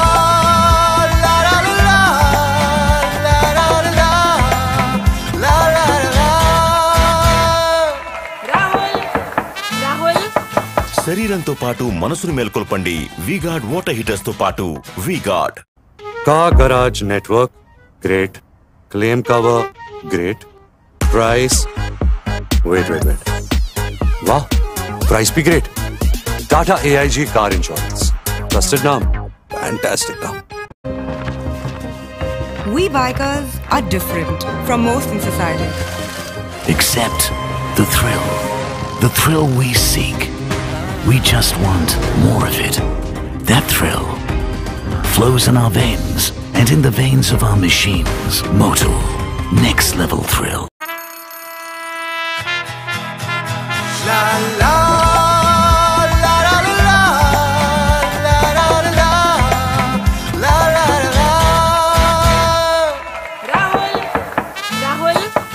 శరీరంతో పాటు మనసును మేల్కొల్పండి వీగాడ్ water హీటర్స్తో పాటు వీగాడ్ అనే point తీసుకొస్తున్నారు. ఇందిరమ్మ రాజ్యం అంటే ఏంటి? ఇందిరమ్మ రాజ్యం అంటే నియంత రాజ్యం. ఇందిరమ్మ రాజ్యం అంటే చీకటి రాజ్యం. ఇందిరమ్మ రాజ్యం అంటే దోపిడీ రాజ్యం. ఇందిరమ్మ రాజ్యం అని అంటే ఎమర్జెన్సీ రాజ్యం. అంటే ఇవన్నీ తెలంగాణలో తీసుకొద్దామనా? ఎందుకు ఇందిరమ్మ రాజ్యం అనే పాయింట్ని ఎందుకు ఫోకస్ చేస్తున్నారు? ఏమంటున్నానంటే పాపం కేసీఆర్ గారు మళ్ళొకసారి దాన్ని ఎట్టో గట్ట నెగటివ్ క్యాంపెయిన్ చేసి ఏదో లబ్ధి పొందాలి ఇందిరమ్మ రాజ్యం అంటే బ్యాంకుల జాతీయీకరణ. ఇందిరమ్మ రాజ్యం అంటే అసైన్మెంట్ పట్టాలు పేదలకు ఇవ్వడం. అంతకుముందు భూస్వాముల దగ్గర జాగీర్ల దగ్గర జమీందారుల దగ్గర భూములు ఉండేవి వేలాది ఎకరాలు. ఆ భూములు తీసుకొని భూములు లేని దళితులకు గిరిజనులకు పేదవాళ్ళకు భూములు పంపి పంచిపెట్టారు. భూ పంపకాలు నక్సలైట్లు ఏదైతే దున్నేవాడికి భూమి అనే నినాదం తెచ్చిండ్రు ఆ నినాదాన్ని నిజం చేసింది ఇందిరమ్మ రాజ్యం. ఇల్లు లేని వాడికి ఇల్లు కట్టించింది పక్కా ఇల్లు కట్టించింది ఇందిరమ్మ రాజ్యం. ఇందిరమ్మ రాజ్యంలోనే ఇప్పుడున్న ప్రాజెక్టులు అన్నీ సాగునీటి ప్రాజెక్టులు కట్టారు. ఇందిరమ్మ రాజ్యంలోనే బీడీఎల్లు డిఫెన్స్ ఫ్యాక్టరీలు ఈసీఐలు ఇవన్నీ ఫ్యాక్టరీలు ఆమె ఇక్కడ ఎంపీగా ఉన్నప్పుడు ఎనభై నుంచి ఎనభై నాలుగు వరకు చనిపోయే వరకు తెలంగాణ నుంచి ఆమె ఎంపీ మెదక్ నుంచి. సో ఆమె అధికారంలో ఉన్నప్పుడు పేదలకు ఆకాశమే హద్దుగా స్వేచ్ఛనిచ్చి సంక్షేమాన్ని అమలు చేసి ప్రాంతంలో అభివృద్ధి చేయడం వల్ల ఈరోజు బిహెచ్ఎల్ అని ఒక చిన్న గ్రామము రామచంద్రాపురం అనే చిన్న గ్రామము ఇవాళ పెద్ద సిటీ అయింది. ఎందుకు? పారిశ్రామిక వాడలు తీసుకొచ్చి ఫార్మా కంపెనీలు తీసుకొచ్చి ఐడిపిఎల్ రావడం పెట్టడం వల్లనే ఈరోజు ఇన్ని ఫార్మా కంపెనీలు రెడ్డి ల్యాబ్స్ ఇంకోటో ఎస్ఓఐలో లేకపోతే ఇవన్నీ ఎంఎస్ఎన్ వీళ్ళందరూ ఒకప్పుడు అక్కడ అక్కడ అక్కడ అక్కడ వర్క్ చేసిన వాళ్ళు అక్కడ నుంచి నేర్చుకున్న వాళ్ళు సో ఆమె రాజ్యంలో పేదవాళ్ళు స్వేచ్ఛగా తలెత్తుకొని బ్రతికినరు జనతా వస్త్రాల నుంచి వాళ్ళకు కూడు గుడ్డ ఇవ్వాలనేది రోటీ కప్డా और మకాన్ అనేది అయితే ఇందిరాగాంధీ హిందీలో చెప్పిందో. సో ఈ పథకాలన్నిటిని కూడా అమలు చేయడము చదువుకునే పిల్లలకు అందరికీ చదువులు చెప్పించడం అన్ని గ్రామాలకు రోడ్లు వేసిండ్రు అన్ని గ్రామాలకు తాగనీకి నీళ్ళు ఇచ్చిండ్రు అన్ని గ్రామాలకు విద్యుత్ ఇచ్చిండ్రు అన్ని గ్రామాలలో మౌలిక వసతులు కాంగ్రెస్ పార్టీ ఉన్నప్పుడే చేసింది. ఇంద్రమ్మ రాజ్యంలోనే ఇవన్నీ జరిగినాయి. మళ్ళీ ఈరోజు ఆ రోజులు రావాలి. మళ్ళీ స్థానిక సంస్థలల్లో సర్పంచులు ఎంపీటీసీలు ఆత్మగౌరవంతో బ్రతకాలి. ఇవన్నీ కేవలం ఇందిరమ్మ రాజ్యంలోనే జరిగినాయి. అందుకే తిరిగి పూర్వ వైభవం రావాలని ఇందిరమ్మ రాజ్యం గురించి చెప్తుంది. ఎవరు ఇందిరాగాంధీతో కనెక్షన్ లేదు. యాభై సంవత్సరాలు దాటిన వాళ్ళకైతే ఇందిరాగాంధీ గురించి తెలుసు కానీ యాభై సంవత్సరాల లోపల ఉన్న వాళ్ళకి ఇందిరాగాంధీ గురించి అంత కనెక్షన్ లేదు. రాజీవ్ గాంధీ అన్న కొంత తెలుసు మిగతా సోనియా గాంధీ అన్న తెలుసు. ఇందిరమ్మ రాజ్యం అని తీసుకొని స్లోగన్తో కాంగ్రెస్ పార్టీ వెళ్ళటం వెనుక ఏమైనా వ్యూహం ఉందా? ఏమైనా అడ్వాంటేజ్ ఉంటుంది అనుకున్నారా? ఏంటి రీజన్ ఏంటి? ఇప్పుడు టెక్నాలజీ పెరిగిన తర్వాత అది అనగానే గూగుల్ చేస్తే వాళ్ళ గొప్పతనాలు వాళ్ళ సమయంలో తీసుకున్న నిర్ణయాలు ఇవన్నీ డాక్టర్ బాబాసాహెబ్ అంబేద్కర్ గారి గురించి మనం పదే పదే చర్చించుకుంటాం. ఆ తరమోళ్ళు ఇప్పుడు ఎవరు ఉండరు? ఎవరు లేరు కదా? ఎందుకు? ఆయన ఇచ్చిన గొప్ప రాజ్యాంగము ప్రజాస్వామిక స్ఫూర్తి పరిపాలన విధానాలు వారు ఇవ్వడం వల్ల ఈరోజు మనందరము ఇంత స్వేచ్ఛగా గుండెల మీద చేసుకొని నిద్రపోగలుగుతున్నాం. అట్లనే ఇందిరమ్మ రాజ్యంలో జరిగిన వెల్ఫేర్ కావచ్చు డెవలప్మెంట్ కావచ్చు పాలసీ డాక్యుమెంట్స్ కావచ్చు ఇవన్నీ ఈరోజు లైవ్లో ఉన్నాయి. సో ఎవరికైనా ఏదైనా అనుమానం ఉంటే అనుమానం నివృత్తి చేసుకోవడానికి ఇప్పుడున్న టెక్నాలజీలో చాలా సులభం. ఓకే మీరు మీరు చెప్తున్న ఇందిరాగాంధీ పరిపాలనలో పాజిటివ్స్ ఉన్నాయి ఇందిరాగాంధీ పరిపాలనలో నెగిటివ్స్ కూడా ఉన్నాయి. మీరు పాజిటివ్స్ మాత్రమే మీరు చూస్తున్నారు కేసీఆర్ కావచ్చు బీఆర్ఎస్ కావచ్చు నెగిటివ్స్ చూస్తున్నారు. నెగిటివ్ ఎక్కువ వెళ్ళే అవకాశం ఉందా పాజిటివ్ ఎక్కువ వెళ్ళే అవకాశం ఉందా? ఇది తీసుకోవడం హైలీ రిస్క్ కదా అయినా కాంగ్రెస్ పార్టీ ఎందుకు తీసుకుంది? దేశవ్యాప్తంగా. స్లోగన్ తీసుకునే ఉద్దేశం ఏమైనా కనిపిస్తుంది? అంటే నేను అనేది అదే. ఈ నెగటివ్ అప్రోచ్ నెగటివ్ మైండ్ సెటే మంచిది కాదు. ఏదైనా మనము అంత మంచిగా ఉండాలి అంత శుభంగా పలకాలి అని అంటాం. శుభం పలకరా పెళ్ళి కొడుకు అంటే అదేదో అన్నాడంట. అట్లుంది కేసీఆర్ గారి వాళ్ళకం సో ఎవరమైనా చరిత్రలో కొన్ని మనకు నచ్చని ఉంటే వాటి మీద మనం ఎప్పుడు చర్చించము. కుటుంబంలో తగాదాలు జరిగిన పదే పదే తగాదాలను ముందేసుకొని మాట్లాడుకోము. మనం మంచి ఏదైతే ఉంటుందో మంచి గురించి ప్రస్తావించి మంచిలో నుంచి మంచిని సేకరించి భవిష్యత్తుకు మంచి జరగడానికి నిర్ణయాలు తీసుకుంటాం. సో ఈరోజు కాంగ్రెస్ పార్టీ ఇందిరమ్మ రాజ్యంలో జరిగిన పాజిటివ్ కోణాన్ని తీసుకొని పరిపాలన అందించాలనుకొని ఈరోజు కాంగ్రెస్ పార్టీ ఆలోచన చేస్తుంది. ప్రజలు కూడా అది కోరుకుంటున్నారు. మీరు అంటున్నారు మీరు అంటున్నారు దొరల తెలంగాణ అంటున్నారు. బీఆర్ఎస్ అంటుంది దళారుల తెలంగాణ వస్తుంది కాంగ్రెస్ వస్తే దళారుల తెలంగాణ అంటే దానికి కోర్టు దాంట్లో ఇందిరమ్మ రాజ్యం ఉండొచ్చు. ఇంకా చాలా ఇవన్నీ వెనక బ్యాక్గ్రౌండ్ ఉంది. మీరు టీపీసీసీ చీఫ్గా కాంగ్రెస్ పార్టీ అధికారంలోకి వస్తే దళారుల రాజ్యం తెలంగాణలో వెళ్తుంది వెళ్ళదు అని చెప్పి ఏమన్నా ఎష్యూరెన్స్ ఇవ్వగలుగుతారు? ఇప్పుడు నేను అనేది అదే దళారుల రాజ్యమే వచ్చేటట్టుంటే రెండు వేల నాలుగు నుంచి రెండు వేల పద్నాలుగు వరకు ఇంత వేగమైన అభివృద్ధి జరగదు తెలంగాణ రాష్ట్రము ఏర్పడదు.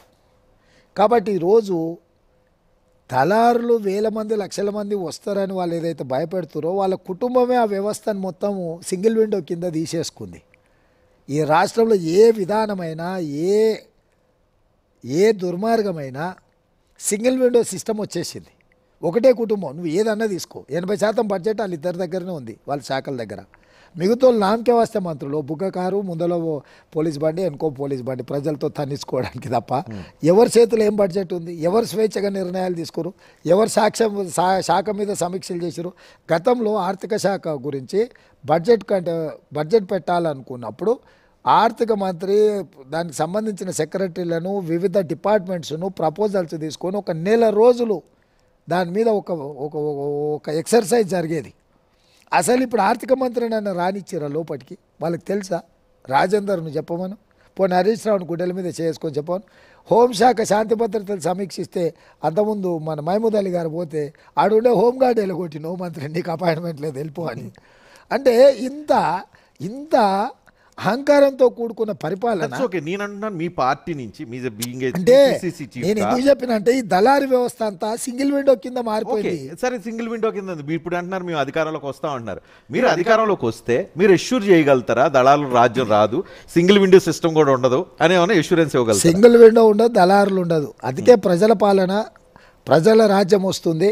ప్రజలు దర్బార్గా ప్రగతి భవన్ గేట్లకు ఎప్పుడైనా రావచ్చు పోవచ్చు సచివాలయానికి ఎప్పుడైనా రావచ్చు వినతి పత్రాలు ఇచ్చుకోవచ్చు అని మేము స్పష్టంగా చెప్తున్నాం. ఇది రెచ్చగొట్టడం కదా? ప్రగతి భవన్ని ఆ గేట్లు ధ్వంసం చేస్తాం లేకపోతే సెక్రటేరియట్లోకి అలౌ చేస్తాం. అంటే మీరు ఒక రకమైన ప్రొవోకింగ్ అప్రోచ్తో ప్రజలు రెచ్చగొడుతున్నారు అనే దానికి సమాధానం.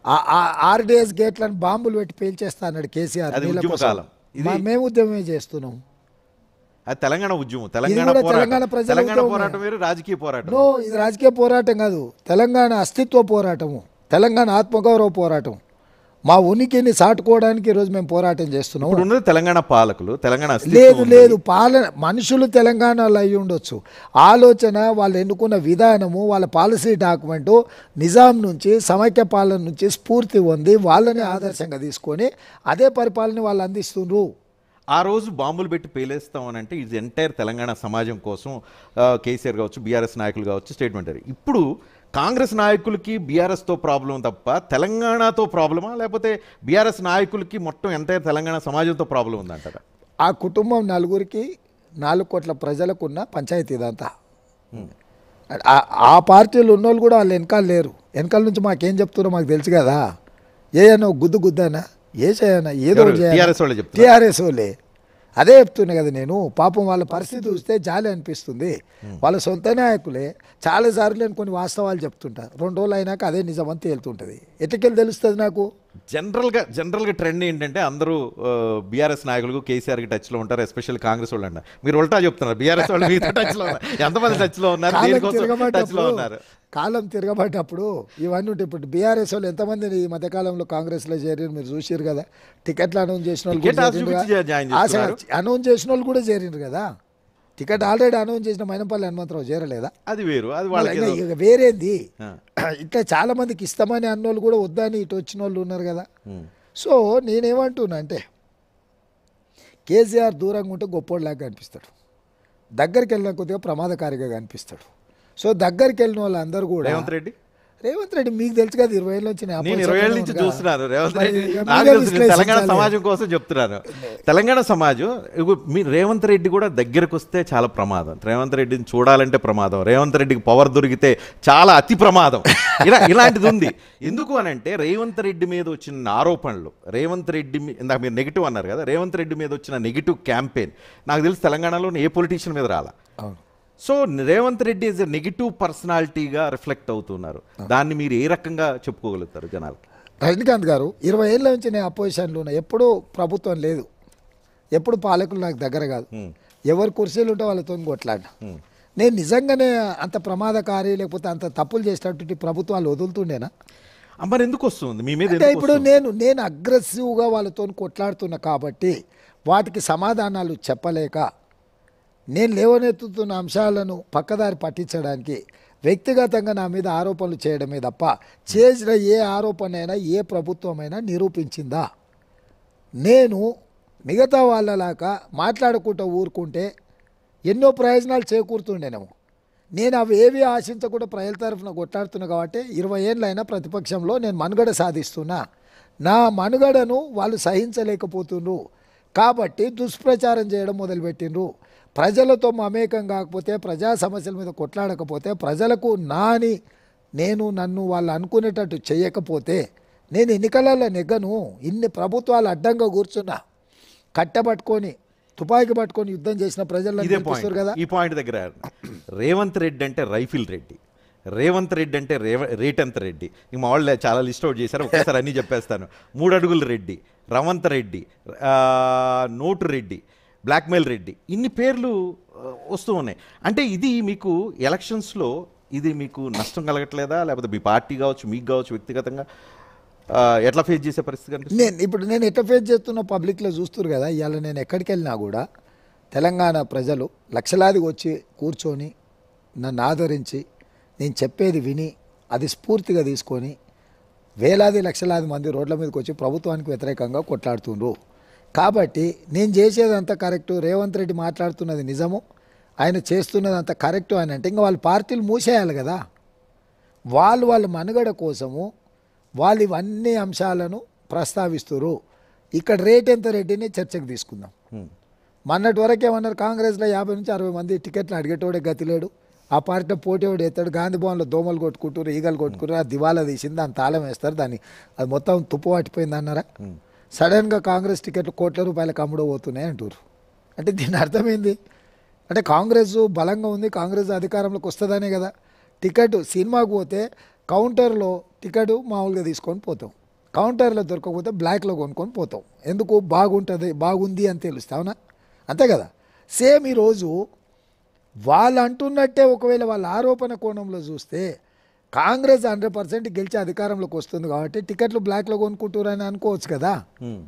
సో ఆ డిమాండ్. రెండవది కాంగ్రెస్ పార్టీలో ఏ రాష్ట్రంలో అయినా ఏ పిసిసి అధ్యక్షుడు కూడా టికెట్లు ఇవ్వలేడు.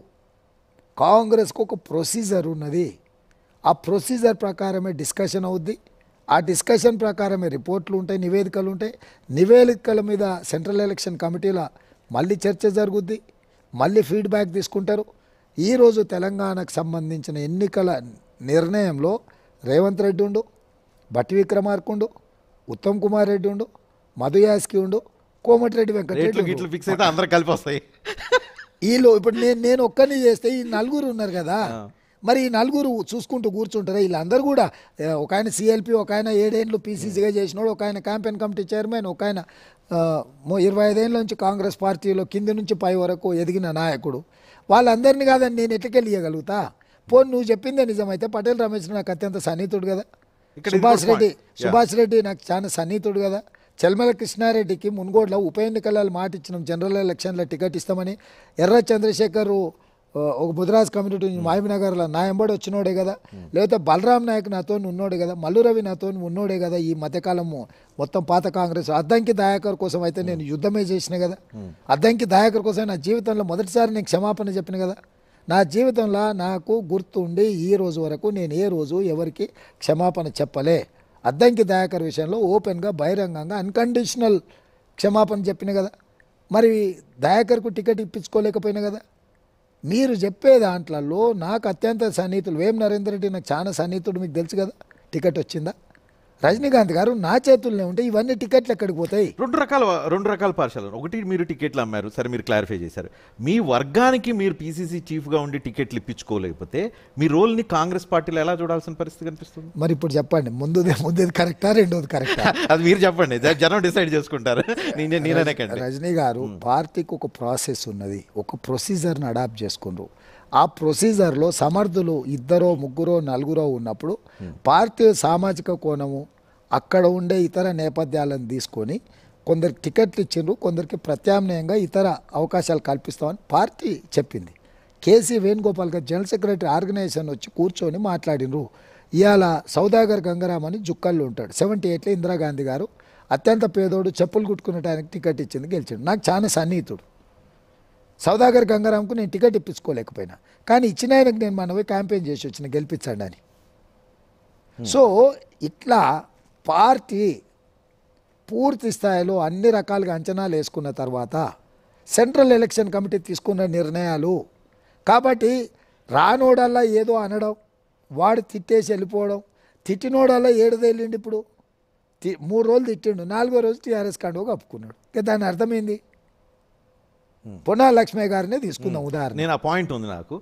పొన్నాల లక్ష్మిని మీరు అలా అంటాం కరెక్ట్ మీరు చెప్పండి. మీరు అలా రజనీకాంత్ గారు పొన్నాల లక్ష్మయ్య గారు పీసీసీ ప్రెసిడెంట్ చేశాడు రెండు వేల పద్నాలుగులో నూట పంతొమ్మిది టికెట్లు నిర్ణయం జరిగినాయి. ఆయనకు తెలుసు కాంగ్రెస్ పార్టీ ఎట్లా పనిచేస్తుంది. ఆయన సంబంధం లేకుండా సందర్భం లేకుండా టికెట్లు అమ్మేసినాం టికెట్లను రేవంత్ రెడ్డి ఇట్లా చేసిండు అట్లా చేసిండు నన్ను తిట్టాల్సిన అవసరం ఏముంది? టికెట్ ఎట్లిస్తారో ఆయనకు తెలుసు. పీసీసీ అధ్యక్షుడు పాత్ర ఎట్లుంటుందో ఆయనకు తెలుసు. అప్పటికి సిఈసికి రెండు పేర్లు ప్రతిపాదనలు పోయినాయి. పొన్నాల లక్ష్మయ్య గారిది కొమ్మూరు ప్రతాప్ రెడ్డిది. సిఈసిలో డెసిషన్ జరగాలి. సిఈసిలో ఆయనను గుర్తుపట్టే మల్లికార్జున ఖర్గే గారు సోనియా గాంధీ గారు రాహుల్ గాంధీ గారు అందరు ఉండరు. ఆయన అప్పటికే టీఆర్ఎస్లో మాట్లాడుకొని ఆ పార్టీలోకి మారాలని నిర్ణయించుకొని నన్ను చెడామడ తిట్టుకుంటూ లెటర్లు రాసి మీడియాలో పెట్టి నా మీద దాడి చేస్తే నేను ఏమనాలి ఇంకా? ఏమనాలి? ఆయన ఎక్స్పీసీసీ ప్రెసిడెంటు. ఆయన పీసీసీ ప్రెసిడెంట్కి ఉన్నప్పుడు వారికి ఆయన్నే టికెట్ ఇచ్చుకుంటే రెండు వేల పద్నాలుగులో యాభై వేలతో ఓడిపోయిండు. రెండు వేల పద్దెనిమిదిలో మాజీ పీసీసీ ప్రెసిడెంట్ అనే గౌరవంతో మళ్ళీ టికెట్ ఇస్తే డెబ్బై వేలతో ఓడిపోయిండు. మూడవసారి కూడా ఆయనకి టికెట్ ఇస్తారో ఇయ్యరో నేను నిర్ణయించలేను. AICC has to decide AICC చేసే నిర్ణయంలా నన్ను విలన్ను చేసి టికెట్లు అమ్మేసిండు భూములు రాయించుకున్నాడు. ఇట్లాంటి అలిగేషన్ అలాంటి అలాంటి స్కోప్ ఏమైనా? జరిగిందా? ఎందుకంటే చాలా మంది ఈడికి కూడా కంప్లైంట్లు ఇచ్చిన. అవును ఇప్పుడు ఇప్పుడు ఎవరు నరసింహారెడ్డి పారిజాత నరసింహారెడ్డి దగ్గర రాయించుకున్నారన్న. పారిజాత నరసింహారెడ్డికి టికెట్ వచ్చిందా? మీరు చెప్పండి. ఇప్పుడు ఏ ఎవ- ఎవరైతే భూమి రాసిండ్రో అని మాట్లాడినరో వాళ్ళకి టికెట్ అని వచ్చిందా? మీరు అసలు ఎక్కడ ఎవరి దగ్గర టికెట్లకి రజనీకాంత్ గారు నేను అనేది ఏంటంటే టికెట్ ఇచ్చే అధికారమే మన చేతిలో లేదు. అంటే తెల నాకు అర్థం కాదు. కాంగ్రెస్ పార్టీ పాలిటిక్స్ నేను అంత నేను ఢిల్లీ పాలిటిక్స్ చూడలేదు. ఏదో హైదరాబాద్ వరకు తెలంగాణ సమైక్య రాష్ట్ర పాలిటిక్స్ చూసా. అంటే పీసీసీ చీఫ్గా ఉండే వాళ్ళు డమ్మీగా ఉంటారా? వాళ్ళ చేతుల్లో ఏముంటారు డమ్మీగా ఉండరు. పీసీసీ ప్రెసిడెంట్ అభిప్రాయం చెప్పడానికి ఉంటుంది. చర్చలు జరిగే దాంట్లో మనం అక్కడ లైవ్లో ఉంటాం మనం. అక్కడ డిస్కషన్ జరిగినప్పుడు మనం మన మన మన అభిప్రాయాన్ని వాళ్ళకి వినిపించవచ్చు. మన అభిప్రాయంలో కొంత సహేతుకత ఉంటే వాళ్ళు ఆమోదించవచ్చు. సో ఏ అండ్ బి ఉండి ఈక్వల్గా ఉండరు అనుకో. రజనీకాంత్ రేవంత్ రెడ్డి ఇద్దరికి అన్ని అర్హతలు ఉన్నాయి అనుకో. ఒక టికెట్ విషయంలో. ఎవరినో ఒకరిని డిసైడ్ చేయాలి కదా. ఈయననా ఆయననా అని. అప్పుడు సిఎల్పి పిసిసి అభిప్రాయం తీసుకుంటారు. మీరిద్దరు ఏమంటున్నారు అని. అంటే మీ ఆప్షన్ ఏంది? అన్ని రకాలుగా బేరీజ్ వేసినప్పుడు త్రాసులో ఇద్దరు సమానంగా ఉన్నప్పుడు ఆప్షన్ ఏంది? ఒకవేళ నువ్వు చెప్తున్నావు కదా రేపు నువ్వు ఈ బాధ్యత తీసుకుంటావు మళ్ళీ గెలిపించడానికి. ఇట్లాంటి వన్ ఆర్ టూ త్రీ సీట్ల మీదనే ఇట్లాంటి అభిప్రాయం ఉంటుంది ఇద్దరు ఈక్వల్గా ఉండి ఒక దగ్గర బలాలు సమానంగా లేకపోతే సోషల్ జస్టిస్ ప్రివేల్ అయింది లేకపోతే ఇంకో దగ్గర బలాలు సమానంగా ఉన్నప్పుడు ఎక్స్పీరియన్స్ సీనియారిటీ ప్రివేల్ అవుద్ది. ఇట్లాంటివి ఉంటాయి తప్పితే సిఎల్పి అవుట్ అండ్ అవుట్ టికెట్లు ఇప్పించుకోలేడు పీసీసీ ఇప్పించుకోలేడు. పోనీ నన్ను విమర్శించిన వాళ్ళే కదా వీళ్ళందరూ. అంటే మీరు ఈ రెండున్నర ఏళ్ళలో మీరు చూసిండ్రు కదా. భట్టి గారైనా ఉత్తమ్ గారైనా కోమటిరెడ్డి గారైనా మధు యాస్కి గారైనా ఏదో రకంగా కొన్ని నా నిర్ణయాలను విభేదించిన సందర్భాలు ఉన్నాయి కదా. One east four. One east four రూమ్లో కూర్చున్నాక నలుగురిని కాదండి నేను టికెట్ ఇప్పించగలను ఎట్లా అనుకుంటారు రజనీ గారు? సరే ఓకే. రేవంత్ రెడ్డి అంటే కాంట్రవర్సీ. కాంట్రవర్సీ అంటే రేవంత్ రెడ్డి. రీసెంట్గా బాగా కాంట్రవర్సీ అయిన సబ్జెక్టు విద్యుత్ సబ్జెక్ట్ బాగా నలిగింది నేను ఎక్కువ దాన్ని డీటెయిల్లోకి వెళ్ళను కానీ నేను తెలుసుకోవాల్సిన పాయింట్ ఏంటి అని అంటే మీరు పది టెన్ హెచ్పి మోటార్ పెట్టి మూడు గంటల్లో ఎకరం పొలం తడిపేయొచ్చు అని ఒక ఒపీనియన్ మీరు చాలా సందర్భాల్లో చెప్పినట్టు విన్నా. ఇప్పటికీ స్టిల్ అదే పాయింట్ మీద ఉన్నారా? అసలు ఉచిత విద్యుత్కు సంబంధించి కావచ్చు రైతాంగానికి విద్యుత్ సంబంధించి కావచ్చు ఈరోజు ఈ క్షణానికి కాంగ్రెస్ పార్టీ వైఖరి రజనీకాంత్ గారు పాలసీ వేరు. అంటే పార్టీ పాలసీ వేరు. టెక్నికాలిటీ వేరు. పార్టీ పాలసీ ఉచిత కరెంట్ ఇవ్వాలన్న ఆలోచన చేసిందే కాంగ్రెస్ పార్టీ పంతొమ్మిది వందల తొంభై తొమ్మిదిలో. తొంభై తొమ్మిదిలో అధికారంలోకి రాలేదు కాబట్టి తొంభై తొమ్మిదిలో అమలు జరగలేదు. రెండు వేల నాలుగులో అధికారంలోకి వచ్చింది కాబట్టి ఉచిత కరెంటును కాంగ్రెస్ పార్టీ అమలు చేసింది. సో ఉచిత కరెంట్ అనే పేటెంటే కాంగ్రెస్ పార్టీ. ఈరోజు ఇరవై నాలుగు గంటలు ఇవ్వాలనేది పార్టీ విధానం. రేవంత్ రెడ్డి ఒక్కడు ఏది నిర్ణయించలేడు. ఎందుకు మేనిఫెస్టో కమిటీ వేస్తారు? మేనిఫెస్టో కమిటీకి చైర్మన్ ఉంటాడు. మళ్ళీ వీళ్ళందరూ ఉంటారు మెంబర్స్ ఉంటారు డిస్కషను వివిధ వినతి పత్రాలు తీసుకొని వాళ్ళందరితో చర్చించేందుకు ఇస్తారు. సో కాంగ్రెస్ పార్టీ పాలసీనే రైతులకు ఇరవై నాలుగు గంటలు ఉచిత విద్యుత్ ఇవ్వాలి అని. సో ఉచిత కరెంట్ ఇచ్చింది కాంగ్రెస్ ఆ పేటెంట్ రైటే కాంగ్రెస్ దగ్గర ఉంది. కాంగ్రెస్ పార్టీ పాలసీ డాక్యుమెంట్లో ఎన్నికల మేనిఫెస్టోలో ఇరవై నాలుగు గంటల ఉచిత విద్యుత్ ఇవ్వాలని ఉన్నప్పుడు రేవంత్ రెడ్డి మూడు గంటల కరెంట్ ఇస్తా అన్నాడని ముఖ్యమంత్రి అబద్ధాలు చెప్తే ఈ ఏమన్నా అర్థం ఉందా? టెన్ హెచ్పి మోటార్తో మూడు గంటలతో ఎకరం పొలం తడిపి వచ్చానన్నారా లేదా? అది టెక్నికల్ నేను అదే చెప్తున్నా ఇప్పుడు కూడా అదే చెప్తున్నా. టెక్నికల్గా మీరు ఊర్లో ఎవరైనా ఉంటే కానీ ఓపెన్ మోటార్ పెట్టగలిగే కెపాసిటీ ఎంతమంది రైతులకు ఉంది? వాళ్ళు టెన్ హెచ్పి మోటార్ పెట్టాలి అని అంటే అంత విద్యుత్ అంత లోడ్ తీసుకోగలిగిన పరిస్థితి ఉందా? రజనీ మరి మీ అంటే మీకు ఆ- ఆంధ్రప్రదేశ్లో కాలువల ద్వారా నీళ్ళు వస్తాయి కాబట్టి మోటార్లు పంప్ సెట్ల వాడకం వినియోగం కొంచెం తక్కువ ఉంటుంది. తెలంగాణలో పంప్ సెట్ల వ్యవసాయం ఎక్కువ. బోర్ వేసుకుంటేనో లేకపోతే ఎకరం రెండు ఎకరాలు ఉన్నోళ్ళు three HP five HP motor వాడతారు. ఓపెన్ వెల్స్ కానీ కాలువల మీద వేసి దూరం డిస్టెన్స్ పంపింగ్ చేసుకోవాలనుకుంటే ten HP twelve HP motor పెడతారంటే ఇప్పుడు కాలువలు పోతున్నాయి ఇక్కడ. పిల్ల కాలువ లేకపోతే ఏమైందంటే ఈ పెద్ద కాలువకే మోటార్ వేసి అంటే వేసి ఇక్కడ నుంచి అర కిలోమీటర్ దూరంలో ఉండే మన పొలానికి మనం నీళ్ళు కొట్టాలంటే తక్కువ హార్స్ పవర్ ఉన్నది ఉంటే అంత దూరం పంప్ చేయదు పుజ్ చేయదు. దానికోసం ఏంటంటే దాడ టెన్ హెచ్పి మోటార్లు పెట్టి వాళ్ళ భూమిలకు పంప్ చేసుకుంటారు. అన్ని గ్రామాలలో అవి ఉన్నాయి. కేసీఆర్ గారు బోర్ గురించి మాట్లాడుతుండా పంపు గురించి మాట్లాడుతుండా ఓపెన్ వెల్స్ గురించి మాట్లాడుతుండా కాలువల మీద మోటార్లు వేసుకునే దాని గురించి మాట్లాడుతుండా? ఏది లేదు. ఏదో ఒకటి రేవంత్ రెడ్డి మీద బురద చల్లాలి ఎనిమిది గంటలు ఇస్తారా? ఐదు గంటలు ఇస్తారా? ఇరవై నాలుగు గంటలు ఇస్తారా? కాంగ్రెస్ పార్టీ ఆలోచన ఏంటి? మేనిఫెస్టోలనే ఇరవై నాలుగు గంటలు ఇస్తామని చెప్పినారు మల్లికార్జున్ ఖర్గే గారు రాహుల్ గాంధీ గారు ప్రియాంక గాంధీ గారు. కాంగ్రెస్ పార్టీ సుస్పష్టమైన విధానము రైతులకు ఇరవై నాలుగు గంటలు ఇస్తామని వాళ్ళు చెప్పారు పిసిసి అధ్యక్షుడు నేను సిఎల్పిగా ప్రతి సమావేశంలో రైతులకు ఇంటికి ఇరవై నాలుగు గంటలు ఇస్తాం వ్యవసాయానికి ఇరవై నాలుగు గంటలు ఉచిత విద్యుత్ ఇస్తామని చెప్తున్నాము. మేము. ఏది చెప్పినా ఇనం చెవులు వేసుకొని అబద్ధాలను పేపర్ల ప్రకటనల రూపంలో కేసీఆర్ హరీష్ రావు గారు ప్రచారం చేస్తుందంటే ఓటమి భయం వాళ్ళని వెంటాడుతుంది. కాబట్టి అబద్ధాలకు ప్రచారం కల్పించాలనుకుంటున్నారు రైతులు తెలివి కల్లోళ్ళు. కేసీఆర్ రేవంత్ రెడ్డి లేకపోతే కేటీఆర్ చెప్పే ప్రతిదీ గుడ్డిగా నమ్మడానికి వాళ్ళేమి ఎడ్డోళ్ళు కాదు. వాళ్ళకి తెలుసు కాంగ్రెస్ పార్టీ అంటే ఏంది? కరెంటు విషయంలో కాంగ్రెస్ విధానం ఏంది? గతంలో ఏముండే భవిష్యత్తులో ఏముంటుందని తెలుసు. మూడవది నేను వ్యవసాయం నుంచి వచ్చినోడి గ్రామాల నుంచి వచ్చినోని నేనేం గుంటూరులో చదువుకోలే? నేనేం పూణేలో చదువుకోలే నేనేం అమెరికాలో బాత్రూమ్లో అడగలే. సో నేను ఊర్లో పుట్టినోని వ్యవసాయ కుటుంబం నుంచి వచ్చిన వ్యవసాయం అంటే అవగాహన ఉన్నాను. రైతు రైతు కదా? నేనెందుకు చేయలేదు? ఎవరు చెప్పిండ్రు. మేము ఊర్లో ఉన్నదే మాకున్నదే వ్యవసాయం కదా. లేకపోతే మేము పెద్ద జమీందారులం అని చెప్పుకున్నానా నేను? వ్యవసాయం చేయడం వ్యవసాయం చూడడం అనేది ఏ గ్రామంలో పుట్టి పెరిగినా కూడా తెలంగాణలో రెడ్డి కుటుంబంలో పుడితే వ్యవసాయంతో కనెక్షన్ లేకుండా ఉందని ఎవరని చెప్తే అది అబద్ధం. ఓకే. ఇక B team A team B టీంకి సంబంధించి? బీఆర్ఎస్ బీజేపీ ఒకటే అని మీరు క్యాంపెయిన్ చేసి ఎన్నికల్లో లబ్ధి పొందిన మాట వాస్తవం. రియాలిటీలో కూడా అది ఎంతో కొంత రిఫ్లెక్ట్ అయింది సక్సెస్ఫుల్గా మీరు జనం మైండ్లో ఒకటే అని ఎక్కించడం వెనుక రాజకీయ ఎత్తుగడే ఉందా? నిజం ఉంది నేను లోక్సభ సభ్యుడిని. లోక్సభలో నోట్ల రద్దు కావచ్చు రైతు వ్యతిరేక నల్ల చట్టాలు కావచ్చు త్రీ సెవెంటీ ఆర్టికల్ కావచ్చు త్రిబుల్ తలాక్ కావచ్చు జిఎస్టీ బిల్లు కావచ్చు ఇట్లా కొన్ని వందల బిల్లులు లోక్సభలో వచ్చినప్పుడల్లా పిఆర్ఎస్ వాళ్ళు స్పష్టంగా బీజేపీకి ఓట్లేసిండ్రు. రాష్ట్రపతి ఉపరాష్ట్రపతి ఎన్నికలలో స్పష్టంగా వెంకయ్య నాయుడు గారు ఉపరాష్ట్రపతి అయినప్పుడు రామ్నాథ్ కోవింద్ రాష్ట్రపతి అయినప్పుడు వీళ్ళు తీసుకొని పోయి ఓట్లేసిండ్రు. ఇవి పక్కన పెడితే నిన్నగాక మొన్న మోడీ గారు ఒక మాట చెప్పారు కేసీఆర్ వచ్చి నా కొడుకుని ముఖ్యమంత్రి చేద్దాం అనుకుంటున్నా మీరు అనుమతి ఇవ్వండి అని. అసలు వాళ్ళిద్దరిది ఏంది? ఏం పార్టీ? ఏం సంబంధం తెలంగాణ రాష్ట్ర ఏర్పాటుకు కాంగ్రెస్ పార్టీ బిల్లు పెడితే బీజేపీ కూడా సపోర్ట్ చేసింది దట్ మీన్స్ వాళ్ళిద్దరూ కలిసిపోయారని చెప్పి అనుకుంటారు ఇప్పుడు నేను బీజేపీ మద్దతు ఇచ్చిందా మద్దతు ఇవ్వలేదా వీళ్ళు ఇచ్చారా బిల్లు పాస్ చేసేది ఒక ఒక అంశం. ఎన్నికలలో ఓట్లు వేసేదాన్ని ఎట్లా చూస్తావు రాష్ట్రపతికి ఉపరాష్ట్రపతికి? రాష్ట్రపతి ఉపరాష్ట్రపతిలో స్పష్టంగా బీజేపీకి ఓటు వేసిండ్రు కదా.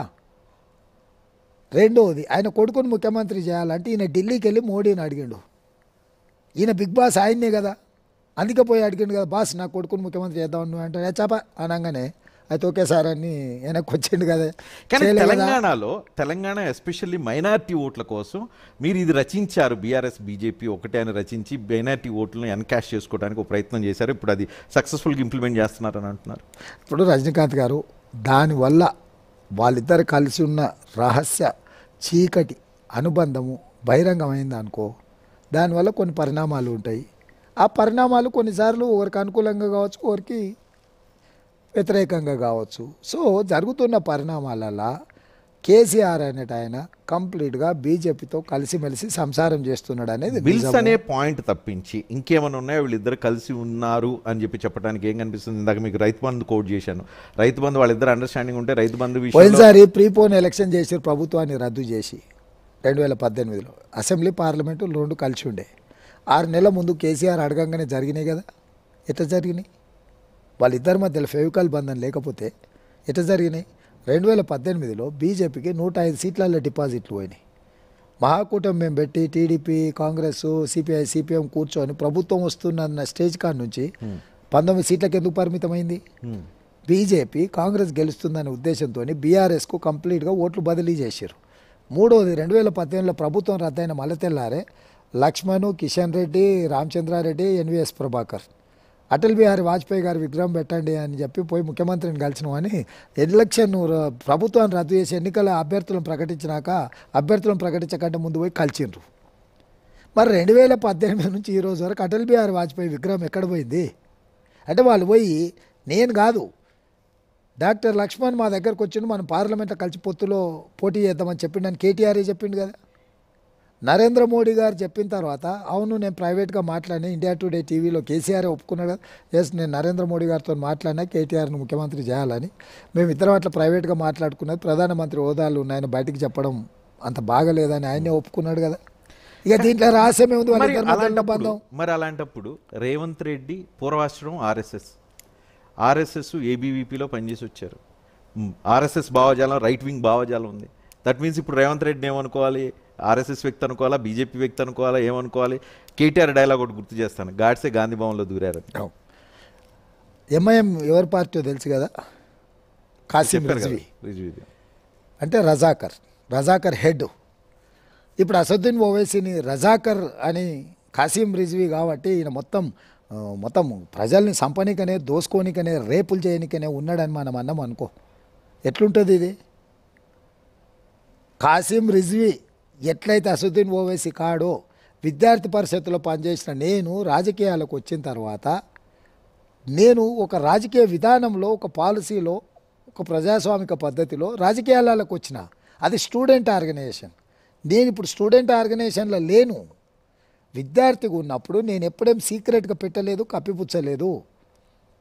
నా పార్టీకి చెప్పినా లీడర్లకు చెప్పినా ప్రజలకు చెప్పినా. నా నేపథ్యం ఇది. నేను స్టూడెంట్గా ఉన్నప్పుడు ఈ ఆర్గనైజేషన్లో పనిచేసిన. ఆ తర్వాత నేను రియల్ లైఫ్లోకి వచ్చిన రియల్ లైఫ్లో బిజినెస్ చేసిన బిజినెస్ తర్వాత సొసైటీ ఎలక్షన్ చేసిన ఆ తర్వాత జడ్పీటీసీ చేసిన ఆ తర్వాత ఎమ్మెల్సీ చేసిన ఇవన్నీ ఇండిపెండెంట్గానే గెలిచిన కదా. నేను టీడీపీలో చేరిన తర్వాత రాజకీయంగా టీడీపీ నుంచి కంటెస్ట్ చేసిన కదా. సో ఆల్ దీస్ ఇయర్స్ ఎప్పుడు కూడా ఈ ఆరోపణ చేయలేదు. ఎప్పుడు కూడా ఈ అంశాన్ని ప్రస్తావించలేదు అసదుద్దీన్ ఓవైసీ కానీ లేకపోతే కేటీఆర్ కేసీఆర్ కానీ ఈ రోజు ఎందుకు మాట్లాడుతున్నారు ఇవన్నీ?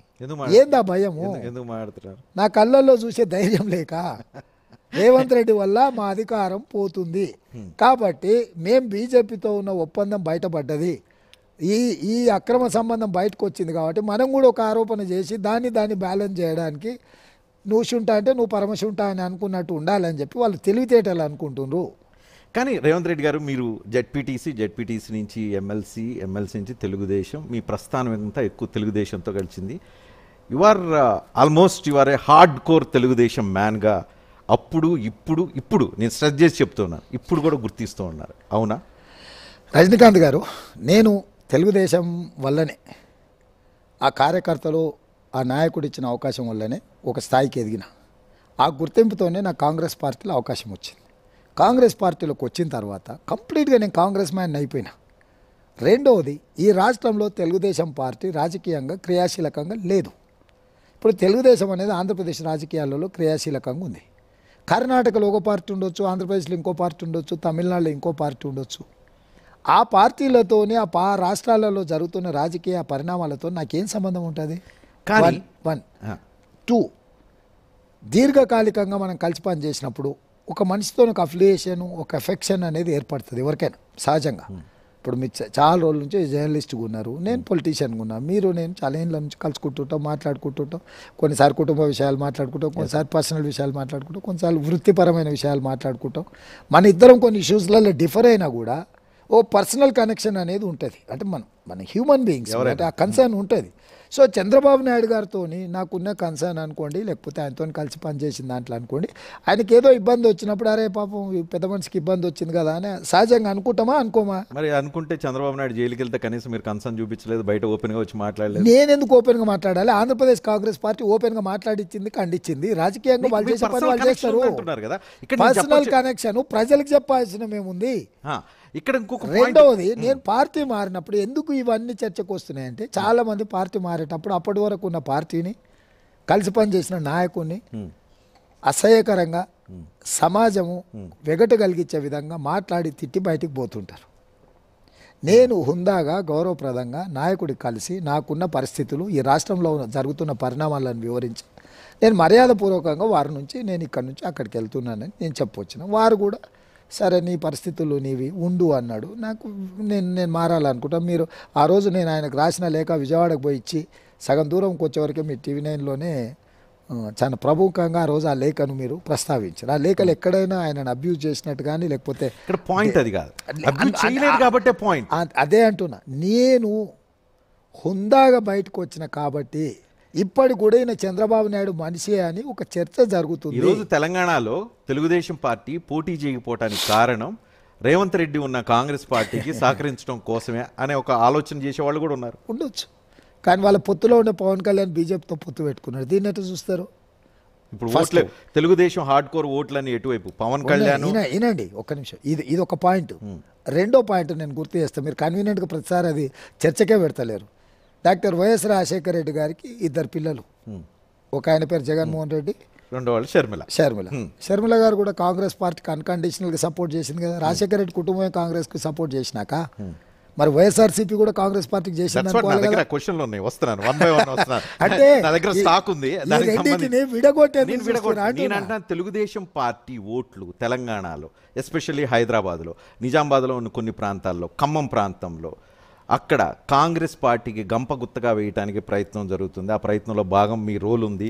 మీకు సహకరించే ప్రయత్నం జరుగుతుందని ఖమ్మం లాంటి చోట్ల తుమ్మల నాగేశ్వరరావు నెలకు తెలుగుదేశం పార్టీ ఆఫీస్కి వెళ్ళి మీటింగ్ పెడుతున్నారు కండవాలు వేసుకొని తిరుగుతున్నారు ఏంటి ఈ వైపరీత్యం? దీన్ని ఏమనుకోవాల్సిన పరిస్థితి కనిపిస్తుంది? ఎక్కడ లోపాయకారి అడ్జస్ట్మెంట్ జరిగిందని చెప్పి అనుకుంటున్నాను బహిరంగంగానే ఆయన కనువ కప్పుకున్నాక లోపాయకారు ఎక్కడ ఉంది రజనీ? అంటే ఎక్కడ ఎక్కడ అడ్జస్ట్మెంట్ జరిగిందని? ఏ పాయింట్ దగ్గర అదే. ఇక్కడ ఎన్నికల్లో పోటీ చేసినప్పుడు ఒక గుడిసెలోకి వెళ్ళి కూడా వయసు మీద పడిన ఒక వృద్ధురాల దగ్గర కూడా పోయి కాళ్ళకి దండం పెట్టి మనం ఓటు అడుగుతున్నాం. ఓ కాలేజీకి వెళ్ళి పిల్లల్ని అడుగుతున్నాం. ఓ పరిశ్రమకి వెళ్ళి కార్మికులను అడుగుతున్నాం. ఓ ఆర్టీసీ దగ్గరికి వెళ్ళి అక్కడ ఉండే కార్మికులతో సింగరేణి సంఘానికి వెళ్ళి మనం అడుగుతున్నాం. ఎన్నికలలో నిలబడ్డోళ్ళు ఓటు వేస్తాడు అనుకున్న ప్రతి వాళ్ళను మనం కలిసి ఓటు అడుగుతాము. అప్పుడప్పుడు మన ప్రత్యర్థి ఎదురుపడితే కూడా నీ ఓటు నాకే అని అడుగుతుంటాము. సో ఎవరైనా ఎవరినైనా ఓటు అడగవచ్చు వాళ్ళు వేయొచ్చు. ఇట్లా జరగాల్సిన చర్చను ఒక్క రేవంత్ రెడ్డికి ఆపాదించడం ఇది ఒక కోణము. రెండవది ఇవాళ మైనారిటీలంతా కాంగ్రెస్కి వేస్తున్నారు అంటుండ్రు. రూరల్ ఏరియాలో మొత్తం కాంగ్రెస్కి అనుకూలంగా ఉంది అంటుండ్రు. విద్యార్థులందరూ కొంత అనుకూలంగా నిరుద్యోగ యువకులైతే ప్రభుత్వం మీద పరీక్ష పబ్లిక్ సర్వీస్ కమిషన్ ప్రశ్నపత్రాలు లీక్ అవ్వడం వల్ల పూర్తిగా ప్రభుత్వ వ్యతిరేకత ఉంది అంటున్నారు గిట్టుబాటు ధర ఇవ్వనందుకు రైతులు వ్యతిరేకంగా ఉండరు అని అంటున్నారు. ఫీజు రియంబర్స్మెంట్ ఇవ్వకపోవడం వల్ల విద్యార్థులు వ్యతిరేకంగా ఉండరు అంటున్నారు. ఈ మహాలక్ష్మి గ్రూపులు ఇవన్నీ ఉండడం వల్ల మహిళా సంఘాల వాళ్ళు ప్రభుత్వానికి వ్యతిరేకంగా ఉన్న అంటారు ఆశా వర్కర్లు అంగన్వాడీ వర్కర్లు అయితే వాళ్ళు ఆల్రెడీ తిరగబడ్డారు. టీచర్లు అందరూ కూడా three three one seven GO కావచ్చు ఇతర విషయాలు కావచ్చు ప్రభుత్వానికి వ్యతిరేకంగా ఉన్నారు అంటారు టీఎన్జిఓలు ప్రభుత్వానికి వ్యతిరేకంగా ఉన్నారు అసలు తెలంగాణ సమాజంలో కేసీఆర్ కుటుంబం తప్ప అసలు వాళ్ళకి అనుకూలంగా ఎవరుండ్రు మొత్తం తెలంగాణ సమాజమే కాంగ్రెస్కి సపోర్ట్ చేస్తుంది. ఇక్కడ పాయింట్ ఏంటంటే తెలంగాణలో కుల ప్రస్తావన అనివార్యంగా తీసుకురావాల్సిన పరిస్థితి వస్తుంది. రాయలసీమ రెడ్లు కోస్తా కమ్మవారు అందరూ ఏక ఏకకాలంలో ఇక్కడ ర్యాలీ కావటానికి రేవంత్ రెడ్డే కారణం అని అంటారు నిజమేనా? అవుతుందో లేదో పూర్తి సమాచారం లేదు. అయితే మాత్రం నేను చాలా హ్యాపీయెస్ట్ పర్సన్ ఎందుకంటే ఆ ప్రాంతంలో విడిపోయి కొట్లాడుకుంటున్న వాళ్ళని కలపగలిగిన అంటే ఇది సమాజానికి మంచిది. దీర్ఘకాలికంగా సమాజానికి ప్రయోజనం చేకూరుస్తుంది. కానీ ఆంధ్రప్రదేశ్లో ఈ రెండు వర్గాలు రెండు పార్టీల తరపున పోరాటం కాదు. ఇంకా అంతకంటే ఎక్కువ పదాలు ఏమైనా ఉంటే అవి చేస్తున్న పరిస్థితి కనిపిస్తుంది. అవును. రేపు మీరు ఇక్కడ ఈరోజు మీరు ఓటింగ్ కోసం మీ అవసరం అయిపోయిన తర్వాత ఆంధ్రప్రదేశ్లో ఎవరి వైపు ఉంటారు? కాంగ్రెస్ వైపు ఉంటాను నాకు పార్టీ ఉంది. నా జాతీయ పార్టీ. నా పార్టీ ఎన్నికల్లో పోటీ చేస్తాను పూర్వాశ్రమంలో కనెక్షన్ ఉన్న చంద్రబాబు నాయుడు ఓట్లు రజనీకాంత్ గారు- ఓట్లు వచ్చిన తెలుగుదేశం సీమాంధ్ర ఓట్లు ఇవన్నీ కన్సర్న్ ఇది మీరు చూపించారు ఆంధ్రప్రదేశ్లో? నా- నాకు ఆ వెసులుబాటు ఉండదు. నేను పీసీసీ ప్రెసిడెంట్ని. పార్టీ పాలసీని మాత్రమే నేను ముందుకు తీసుకెళ్ళాలి. నాకు వ్యక్తిగత నిర్ణయాలు ఆలోచనలు చేయడానికి ఉండదు స్వేచ్ఛ ఉండదు. నేను బాధ్యతలు ఉన్నా. ఈ బాధ్యతను బాధ్యతాయుతంగా నిర్వహించాలి. బాధ్యతారహితంగా ఏది పడితే చేస్తే ఈ పదవిలో ఉండం మనము. సో పదవి అనేది చాలా బాధ్యత. బరువు. ఈ బాధ్యతను ఈ బరువును చాలా జాగ్రత్తగా మోయాలి. ఆంధ్రప్రదేశ్లో కాంగ్రెస్ పార్టీని రివైవ్ చేయడమే కాంగ్రెస్ పార్టీ విధానము రాహుల్ గాంధీ విధానము. రాహుల్ గాంధీ నాకు చెప్పిన సూచన అదే. తెలంగాణ అయిపోయిన తర్వాత ఆంధ్రప్రదేశ్లో కాంగ్రెస్ పనిచేస్తారు పార్టీ ఆదేశిస్తే హండ్రెడ్ పర్సెంట్ అవసరమైతే మీకు ఏదైతే జన్మనిచ్చిందో లేకపోతే సపోర్ట్ ఇచ్చిన తెలుగుదేశం పార్టీని సైతం ఎదిరించడానికి సిద్ధం అప్పుడు. ఏ పార్టీ నా పార్టీని పాజిటివ్గా ఆంధ్రప్రదేశ్లో పది సంవత్సరాలు మీకు ప్రత్యేక హోదా ఇస్తామని చెప్పిండ్రు అనుకో.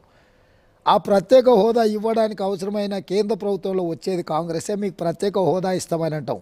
విశాఖ ఉక్కు కర్మాగారం ఆనాడు విశాఖ ఉక్కు ఆంధ్రుల హక్కు అన్నారు.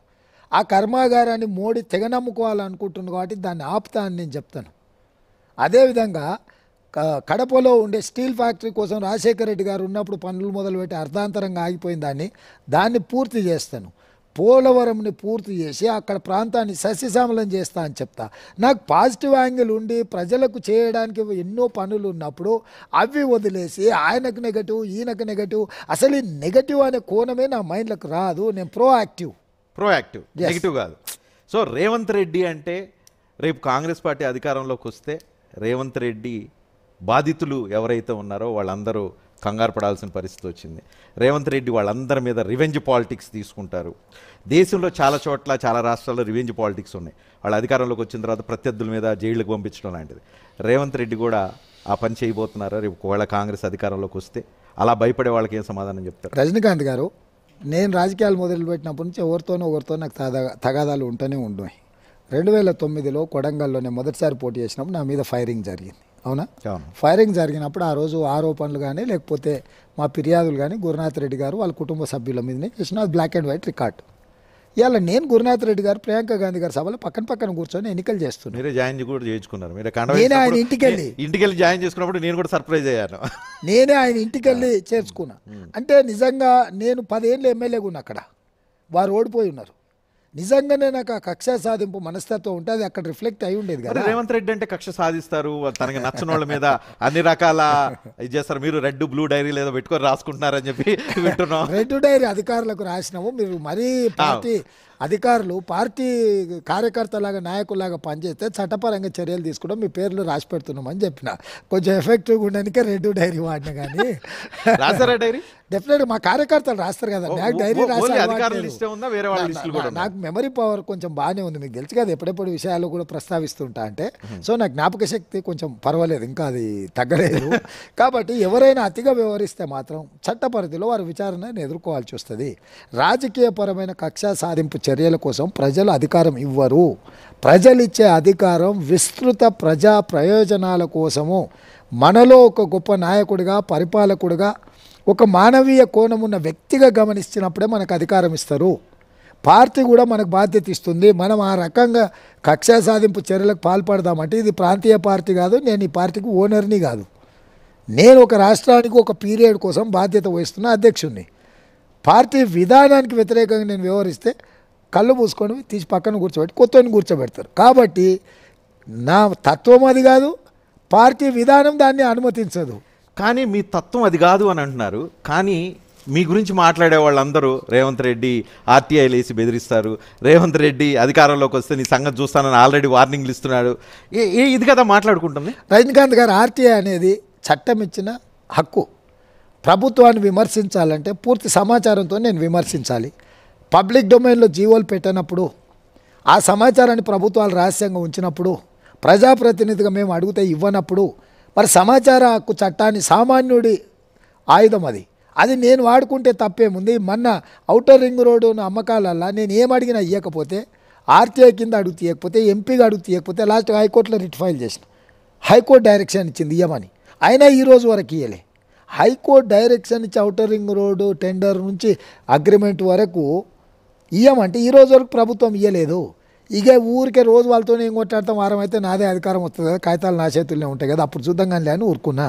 అంటే నువ్వు దోపిడీ చేసినా ఏమనొద్దు దొంగతనం చేసినా ఏమనొద్దు ఇష్టారాజ్యంగా వివరించినా ఏమనొద్దు సమాచారం అడగడం కూడా నేరమే అంటే మీడియా పర్సన్స్ కూడా టీవీ నైన్ కూడా చాలా విషయాలలో సమాచార హక్కు చట్టం కింద మీరు సమాచారాన్ని సేకరిస్తుంటారు కదా.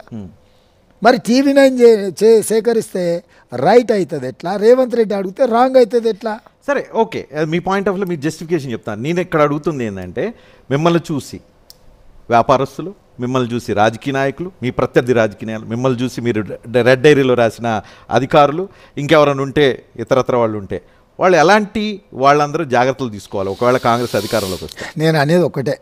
ఎవరం వాళ్ళం. చట్ట పరిధిలో వివరించడం నేర్చుకోవాలి. మరీ లైన్ క్రాస్ చేసి మరీ దూరంగా వెళ్ళిపోయి మరీ అతిగా వివరిస్తే ఏదో ఒక దగ్గర తగులుతుంది. మనం కాకపోతే నేచర్ కరెక్షన్ చేస్తుంది. లేకపోతే చట్టం శిక్షిస్తుంది.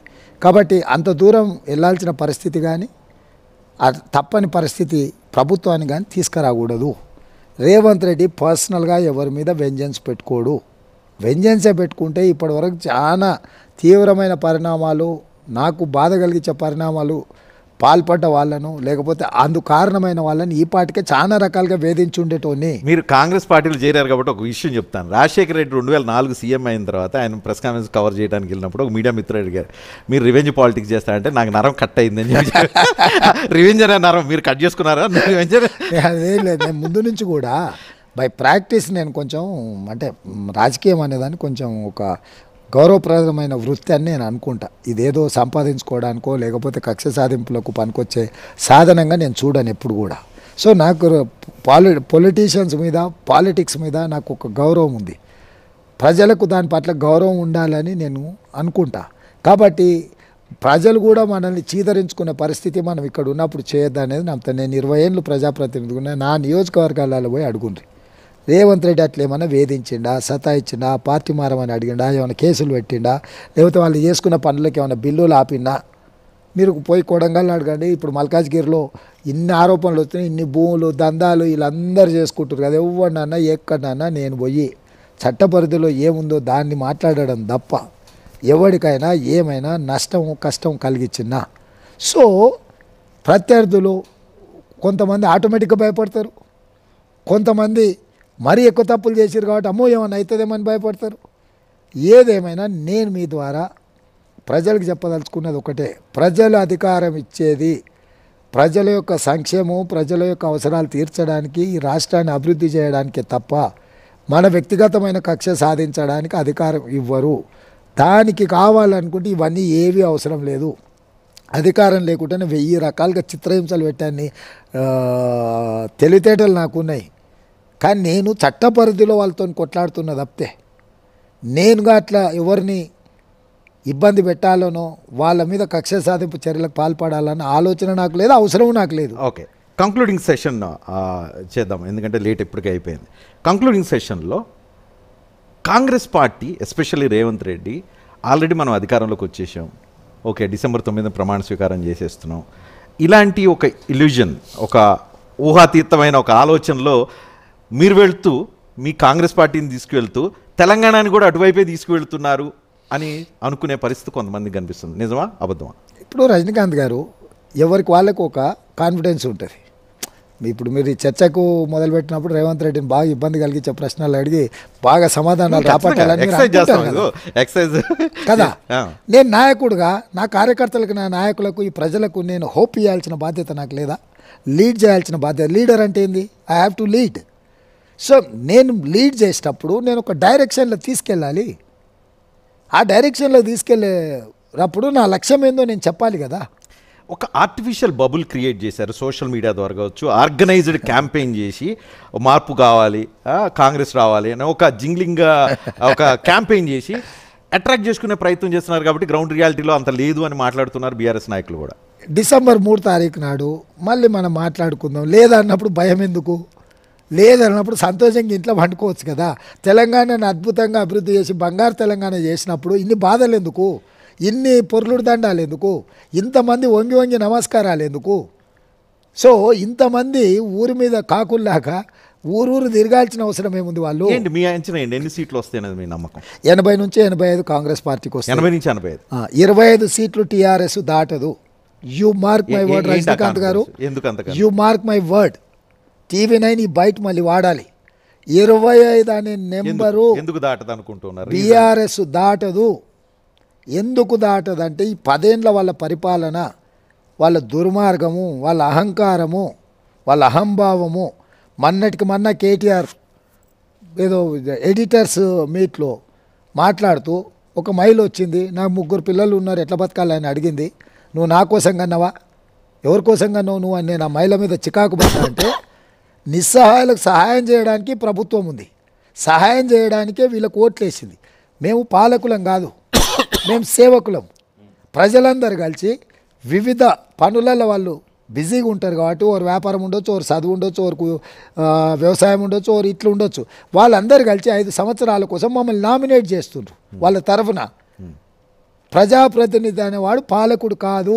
ప్రజాప్రతినిధి సేవకుడు. నువ్వు సేవకుడు కాబట్టి నిన్ను వచ్చి అడిగింది. నువ్వు ఆమెకు ఏం సహాయం చేస్తామో చెప్పాల్సింది ముగ్గురు పిల్లలకు గవర్నమెంట్ రెసిడెన్షియల్ స్కూల్స్ ఉన్నాయి. ఎడ్యుకేషన్ కోసం ఎంపవర్ చేస్తా అనొచ్చు. లేకపోతే ఆ మహిళ దళితురాలైతే దళిత బంధు కింద పది ఎకరాలు పది లక్షల రూపాయలు ఇస్తా అని ఉండొచ్చు. ఇల్లు లేని ఆమె అయితే డబుల్ బెడ్రూమ్ ఇల్లు ఇస్తా అని చెప్పి ఉండొచ్చు. ఒకవేళ వితంతు అయితే వితంతు పెన్షన్ ఇస్తా అని చెప్పి ఉండొచ్చు. ఒకవేళ ఆరోగ్యం బాగాలేకపోతే ముఖ్యమంత్రి సహాయ నిధి నుంచి ఓ పది లక్షల రూపాయలు ఇచ్చి ఆమెకు వైద్యం చేయిస్తా అని చెప్పి ఉండొచ్చు. ఇట్లేం అడగకుండా ఎవడి కోసంగానో నువ్వు పిల్లల్ని?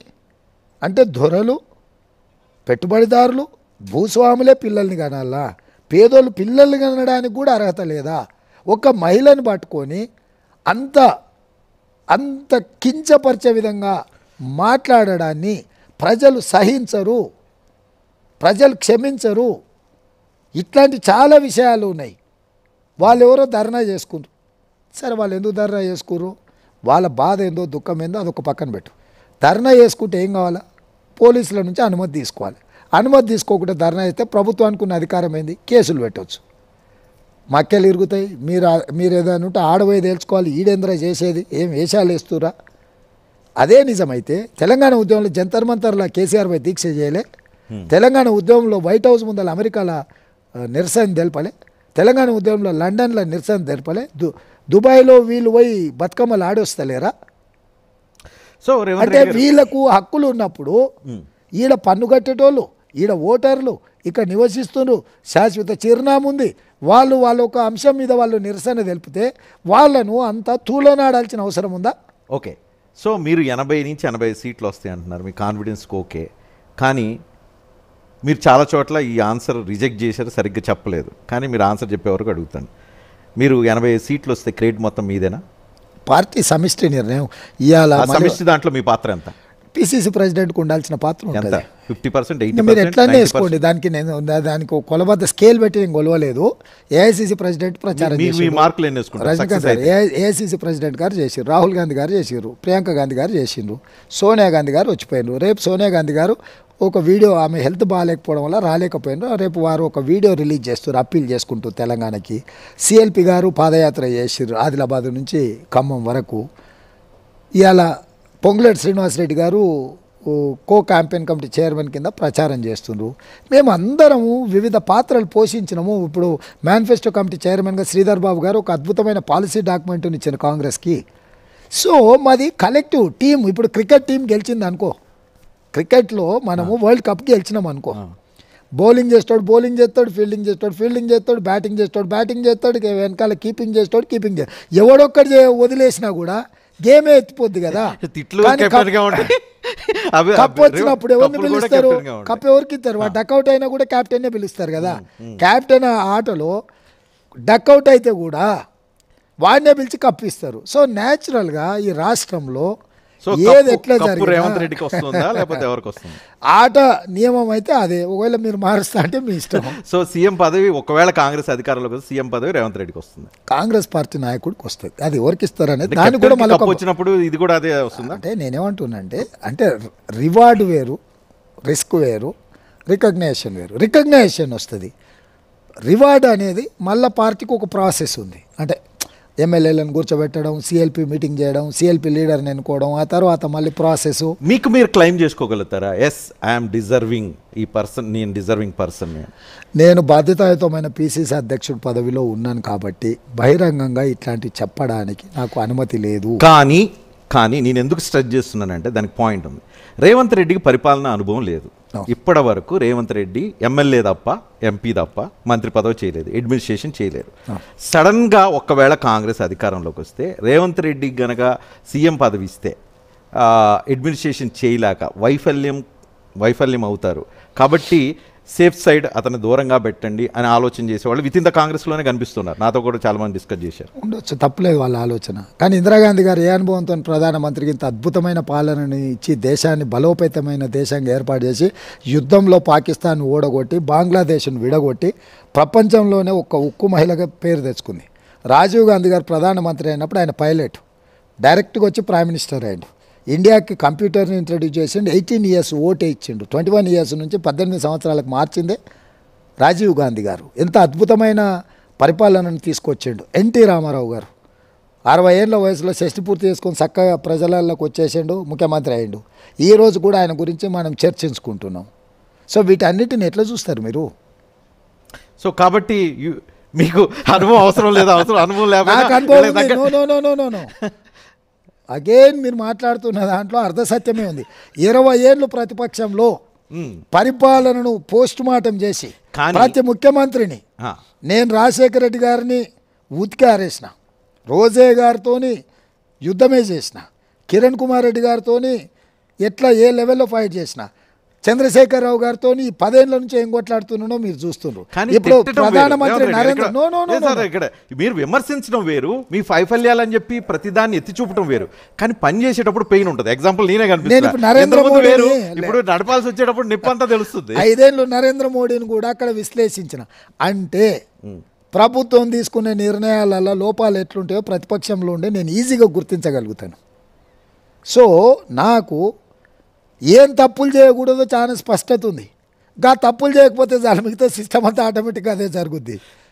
సో నాకు నాకు అంటే అంటే ఒక ఒక బ్రాడర్ వ్యూ ఏంటంటే ప్రజలకు మేలు ఏది జరుగుతుందో నాకు తెలుసు. కామన్ సెన్స్ ఉంది నాకు. నాకు పరిపాలనకి ఐఏఎస్లను వీళ్ళని అందరిని ఎందుకు ఇచ్చిండ్రు? ఇప్పుడు ఒక ముఖ్యమంత్రి ఉన్నానుకో ముఖ్యమంత్రి కార్యాలయం అని ఉంటుంది. ఒక పది మంది ఐఏఎస్ అధికారులు ఉంటారు. ట్వంటీ ఫోర్ ఇంటూ సెవెన్ వాళ్ళు పనిచేస్తారు. వాళ్ళని అంతంత చదువులు చదువుకున్న వాళ్ళని ఎందుకు పెట్టిరు ఓ రాష్ట్రాన్ని నడపడానికి ఒక చీఫ్ సెక్రటరీ ఉంటాడు ఒక పోలీస్ డిపార్ట్మెంట్ నడపడానికి ఒక డీజీపీ ఉంటాడు ఒక పంచాయతీరాజ్ డిపార్ట్మెంట్ నడపడానికి ఒక ప్రిన్సిపల్ సెక్రటరీ ఉంటాడు ఒక మున్సిపల్ డిపార్ట్మెంట్ నడపడానికి ఒక ప్రిన్సిపల్ సెక్రటరీ ఉంటాడు. All these thirty five years being an IAS IPS or whatever group one officer వాళ్ళు పరిపాలనలో మెచ్యూర్డ్ అవ్వకుంటే డెవలప్ అవ్వకుంటే డెవలప్ అవ్వకుంటే ఒక పొజిషన్కి వస్తారు. కౌన్సిల్ ఆఫ్ మినిస్టర్స్కి మాకు సెక్రటేరియట్ బిజినెస్ రూల్స్ ప్రకారము ట్వంటీ ఫోర్ ఇంటూ సెవెన్ మాకు ఆఫీస్ అవైలబుల్ ఉంటుంది. వాళ్ళందరినీ కూర్చోబెట్టి మాట్లాడితే వాళ్ళు ఇచ్చే ప్రతిపాదనలల్లో ఏది మంచో మనం తెలుసుకోవాలి. నేను గుంపు మేస్త్రిని గుంపునంతా కూర్చోబెట్టి ఏది మంచో అన్నిటికీ రెడీ కాదు రజనీ గారు ఇప్పుడు ఇప్పుడు మనము అపార్ట్మెంట్స్ కట్టాలంటే మనం ఆర్కిటెక్ట్ అయి ఉండాల్సిన పని లేదు. ఎవడు ఆర్కిటెక్టో వాడిని పట్టుకోవాలి? స్ట్రక్చరల్ ఇంజనీర్ అయ్యాల్సిన పని అవసరం లేదు. ఎంత స్టీల్ వాడాలి ఎంత కాంక్రీట్ వాడాలి ఏం వాడాలి అనేది స్ట్రక్చరల్ ఇంజనీర్ ప్రపోజల్ ఇస్తాడు. అంటే ఎంత లోతు తోవాలి ఎన్ని ఫ్లోర్లు కట్టాలంటే ఏమేయాలని సెంట్రింగ్ సెంటరింగ్ కూడా వస్తాడు స్లాబ్ వేయడానికి ఏం చేస్తాడు? లప్పం పెట్టేటోడు వస్తాడు వాల్ ఫినిష్ చేస్తాడు ఫాల్ సీలింగ్ కూడా వస్తాడు ఇది చేస్తాడు కరెంట్ వైర్లు గుంచేటోడు వస్తాడు వాడు వస్తాడు. వీళ్ళందరినీ కూర్చోబెట్టి పని చేయించే పని గుంపు మేస్త్రి పని. సో ప్రభుత్వాన్ని నడపడం అనేది గుంపు మేస్త్రి పాత్ర. గుంపు మేస్త్రిగా నాకు నాకున్న కామన్ సెన్స్ సరిపోతుందని నేను ఓకే. అనుకుంటున్నా. కాంగ్రెస్ పార్టీకి రెండు మూడు ఛాలెంజెస్ ఒకటి రేపు ముప్పై తారీఖు పోలింగ్ నిర్వహించుకోవటం మీకు ఓట్లు పడే ఓట్లు ఉంటే వాటిని వేయించుకోవటం number one task number two మూడో తారీఖు గెలవటం. నెంబర్ త్రీ సీఎం క్యాండిడేట్ని ఎంచుకోవటం. అది చాలా పెద్ద తతంగం. అక్కడ అక్కడ కాంగ్రెస్ పార్టీ ఒకవేళ కాంగ్రెస్ పార్టీకి నెంబర్ కనుక సఫిషియెంట్గా వస్తే ఇక్కడ చాలామంది ముఖ్యమంత్రులు ఉన్నారు అనేది బహిరంగ చర్చ. అందరూ క్లైమ్ చేసుకుంటున్న వాళ్ళు కూడా ఉన్నారు. దానిలో ఆ క్లైమ్ చేసుకున్న వాళ్ళలో మీరు ఏ నెంబర్లో ఉన్నారు? రజనీకాంత్ గారు పీసీసీ చర్చ వచ్చినప్పుడు కూడా ఇదే చర్చ జరిగింది. అన్ని రకాల వడపోతల కార్యక్రమాలు చేపట్టి అన్ని రకాల చర్చలు జరిగిన తర్వాత పార్టీ ఒక నిర్ణయం తీసుకుంది. నిర్ణయం తీసుకున్న కొద్ది రోజులు కూడా దాని మీద కొంచెం నిరసన తెలిపడం కొంచెం కొంచెం భిన్నాభిప్రాయాలు చెప్పడం కూడా జరిగింది. చివరికి పోటీకి వచ్చినప్పుడు అందరం కలిసి పనిచేస్తున్నాం కదా. రేపైనా నేనైనా ఇంకొకరైనా ఇంకొకరైనా ఎవరి మీదైనా చర్చలు జరిగి ఎమ్మెల్యేలను సంప్రదించి అన్ని రకాల డిస్కషన్స్ అయిన తర్వాత పార్టీ ఒక నిర్ణయానికి వస్తుంది. ఆ నిర్ణయం ప్రకటించిన తర్వాత కూడా చిన్న చిన్న ఏమన్నా వచ్చినా సర్దుకుంటాం. సంసారం అన్న తర్వాత చిన్న చిన్న ఒడిదుడుకులు ఉంటాయి. కాంగ్రెస్ పార్టీ కాంగ్రెస్ పార్టీ ఇట్లా కాంపిటీషన్ వచ్చినప్పుడు ఆలోచన డిఫరెంట్గా ఉంటుంది. ఎగ్జాంపుల్ చెప్తున్నారు. సచిన్ పైల మధ్యప్రదేశ్లో రా- జ్యోతిరాజస్తో సీఎం క్యాండిడేట్ చేయాలనుకున్నప్పుడు జ్యోతిరాజ్ కాకుండా కమల్ కమల్నాథ్కి ఇచ్చారు. రాజస్థాన్లో చూస్తే సచిన్ పైలట్కి కాకుండా అక్కడ ఉన్న అశోక్ గెహ్లోట్కి ఇచ్చారు. పక్కన ఉన్న కర్ణాటకలో డీకే శివకుమార్ కాకుండా సిద్ధరామయ్యకి ఇచ్చారు. రేపు ఇక్కడ ఒకవేళ కాంగ్రెస్ పార్టీకి అధికారం వచ్చిన సఫిషియెంట్ నెంబర్ వచ్చిన రేవంత్ రెడ్డిని కాదని వేరే వైపు ఆలోచిస్తుంది కాంగ్రెస్ అధిష్టానం అని అనుకునే వాళ్ళు ఉన్నారు. మంచిదే కదా ఎవరికి ఇచ్చినా సరే కాంగ్రెస్ వాళ్ళకే ఇస్తారు కదా? కేసీఆర్కి అయితే ఇయ్యరు కదా? సరే నేను ముందే చెప్పిన? పార్టీ నిర్ త్యాగం కాదు పార్టీ నిర్ణయాన్ని శిరసా వహించడమే నా బాధ్యత. నేను తెలుగుదేశంలో ఉన్నప్పుడు కూడా ఎన్ని అభిప్రాయాలు చెప్పినా చివరికి నాయకుడు తీసుకున్న నిర్ణయాన్ని ముందుకు తీసుకొని వెళ్ళాం కదా. నా ట్రాక్ రికార్డ్ ఏముంది? ఇప్పుడు కాంగ్రెస్లో నేను చాలా మందికి టికెట్లను ప్రతిపాదన చేసిన ఆర్గ్యూ అంటే నేను నా బలమైన వాదనను వినిపించిన పార్టీకి పలానా దగ్గర పలానాలోకి ఇస్తే బాగుంటుంది అని. ఓ సందర్భంలో పార్టీ నిర్ణయం తీసుకున్న తర్వాత ఎక్కడైనా పీసీసీ అధ్యక్షుడు పలానా టికెట్ విషయంలో నిరసన తెలిపిండానో లేకపోతే అయిష్టత ప్రదర్శించిండానో లేకపోతే వాళ్ళకు వ్యతిరేకంగా ఏదన్నా చేస్తున్నాడని ఎప్పుడన్నా వచ్చిందా? సో నాకు ఇంటర్నల్ డెమోక్రసీ ఏంది? ఎక్స్టర్నల్గా మనం ఏం చేయాలనే దాని మీద నాకు చాలా స్పష్టత ఉంది చాలా కమిట్మెంట్ ఉంది. సో నా కమిట్మెంట్ని ఎవ్వరు క్వశ్చన్ చేయలేరు ఎప్పుడు అట్లాంటి క్వశ్చనే అరైజ్ అవ్వదు. కాంగ్రెస్ పార్టీ పదే పదే బీఆర్ఎస్ని కేసీఆర్ని విమర్శిస్తుంది తెలంగాణ వచ్చినాక దళిత సీఎం చేస్తాను అని చెప్పి ప్రామిస్ చేసి మాట తప్పారని. ఇప్పుడు బీజేపీ వస్తుంది మేము బీసీ సీఎం చేస్తామని నినాదం తీసుకొని వచ్చారు. ఇప్పుడు కాంగ్రెస్ పార్టీ ఎలక్షన్కి ఒక రెండు రోజులు మూడు రోజులు టైం ఉన్న ఈ తరుణంలో యాజ్ ఎ పీసీసీ చీఫ్గా మీరేం చెప్తారు? అగ్రవర్ణమా? బీసీలా? ఎస్సీలా ఏ ఆలోచనతో ప్రజలు కాంగ్రెస్ పార్టీని చూడమని చెప్పి చెప్తారు? వచ్చే అధికారం. కాంగ్రెస్ పార్టీ నాయకుడే ఈ రాష్ట్రానికి ముఖ్యమంత్రి అవుతాడు. ఆ నాయకుడికి పరిపాలన సామర్థ్యం ఉంటుంది ఒక మానవీయ కోణం ఉంటుంది. పేదలను ఈసడించుకునే అసహించుకునే విధానానికి కాంగ్రెస్ వ్యతిరేకంగా ఉంటుంది. కేటీఆర్ లాగా వ్యవహరించదు. కేసీఆర్ లాగా దర్బార్లు కట్టుకొని ఎవరిని రానియకుండా పోలీసుల పహారాల మధ్యలో బతకదు అట్లాంటి వాళ్ళకు ఇవ్వదు. కాబట్టి ప్రజలకు అందుబాటులో ఉండి ప్రజల చేత ఆమోదింపబడిన వ్యక్తిని ఎవరినైనా పార్టీ చేస్తుంది వాళ్ళు ఆ రకమైన పరిపాలన అందుబాటులోకి తీసుకొస్తారు. ఈరోజు అశోక్ గెహ్లాట్ గారైనా భూపేష్ బఘేల్ అయినా ఆర్ అదర్వైజ్ సిద్ధరామయ్య గారైనా సుక్కు హిమాచల్ ప్రదేశ్లో అయినా వీళ్ళందరూ కూడా ప్రజా జీవితంలో సామాన్యులాగా కలిసిపోయేటోళ్ళే రాష్ట్రాలకు ముఖ్యమంత్రులు అయినరు రేపు తెలంగాణలో కూడా ఆ రకమైన పరిపాలన ఆ రకమైన నిర్ణయమే ఉంటుంది తప్పితే ఈ ఫ్యూడల్ వాసనలు ఉండవు. ఓకే. కాంగ్రెస్ పార్టీ ఆరు గ్యారెంటీలు ఇచ్చింది. ప్రజలు అడుగుతున్నారు ఏడో గ్యారెంటీ. కాంగ్రెస్ పార్టీ అభ్యర్థిగా ఓటేసి గెలిపిస్తే మీ కాంగ్రెస్ పార్టీలోనే ఉంటారని చెప్పి పిసిసి చీఫ్గా మీరు గ్యారంటీ కార్డులో ఏడో గ్యారంటీగా పెట్టగలుగుతారా? నేను ఏడో గ్యారెంటీకి ఆల్రెడీ ప్రజాస్వామ్యాన్ని ఇస్తాము. ప్రజాస్వామ్యం ఎనిమిది పెట్టండి. పరిపాలన ఎనిమిది అంటున్నారు బాగుంది. ఎనిమిదో దాంట్లో ఈ రాష్ట్రంలో జరిగిన పార్టీ ఫిరాయింపులను మీరు ఏ కోణంలో చూస్తారో కానీ నేను నేను చూస్తున్న కోణం ప్రతిపక్షంలో ఉన్న వాళ్ళందరూ పాలకపక్షం వైపు పోయినరు. ఇది కాంగ్రెస్కే పరిమితం కాలే. కాంగ్రెస్ మారిండ్రు టీడీపీ మారిండ్రు సిపిఐ మారిండ్రు బీఎస్పీ మారిండ్రు వైఎస్ఆర్సీపీ మారిండ్రు. గెలిచిన ప్రతి పార్టీ కూడా అందుకే పోయింది. ఎందుకు? ప్రభుత్వంలో ఉంటే తప్ప బతకలేమనే పరిస్థితులు కేసీఆర్ కల్పించారు ప్రతిపక్షంలో ఉంటే మీకు విలువ లేదు గౌరవం లేదు మిమ్మల్ని మనుషులుగా చూడం అసలు మిమ్మల్ని వదిలేదే లేదు మిమ్మల్ని తొక్కుతాం నరుకుతాం కేసులు పెడతామని వేధింపులకు గురి చేయడంతో వేధింపులను తట్టుకోలేక అందులో చేరిండ్రు. కాబట్టి ఇక్కడ ప్రతిపక్షం వాళ్ళందరూ పాలకపక్షం వైపు పోయినట్టే చూడాలి తప్ప కాంగ్రెస్ వాళ్ళే పార్టీ మారిందని చూసే కోణమే కాదు. కాబట్టి మేమే పాలకపక్షంలో ఉంటాం కాబట్టి ఇంకా సమస్యనే ఉత్పన్నం కాదు. ఓకే మీ దగ్గర ప్రజాస్వామ్యం అంతర్గత ప్రజాస్వామ్యం ఎక్కువ. కొట్టేసుకుంటారు. గ్రూపులు పాలిటిక్స్ ఇక కాంగ్రెస్ మార్క్ రాజకీయాలు చూసే అవకాశం రాబోయే రోజుల్లో ఏమైనా చూడొచ్చు? ఒకవేళ అధికారంలోకి వస్తే. ఇప్పుడు కర్ణాటకలో అట్లేమన్నా ఉందా? ఛత్తీస్గఢ్లో అట్లేమన్నా ఉందా?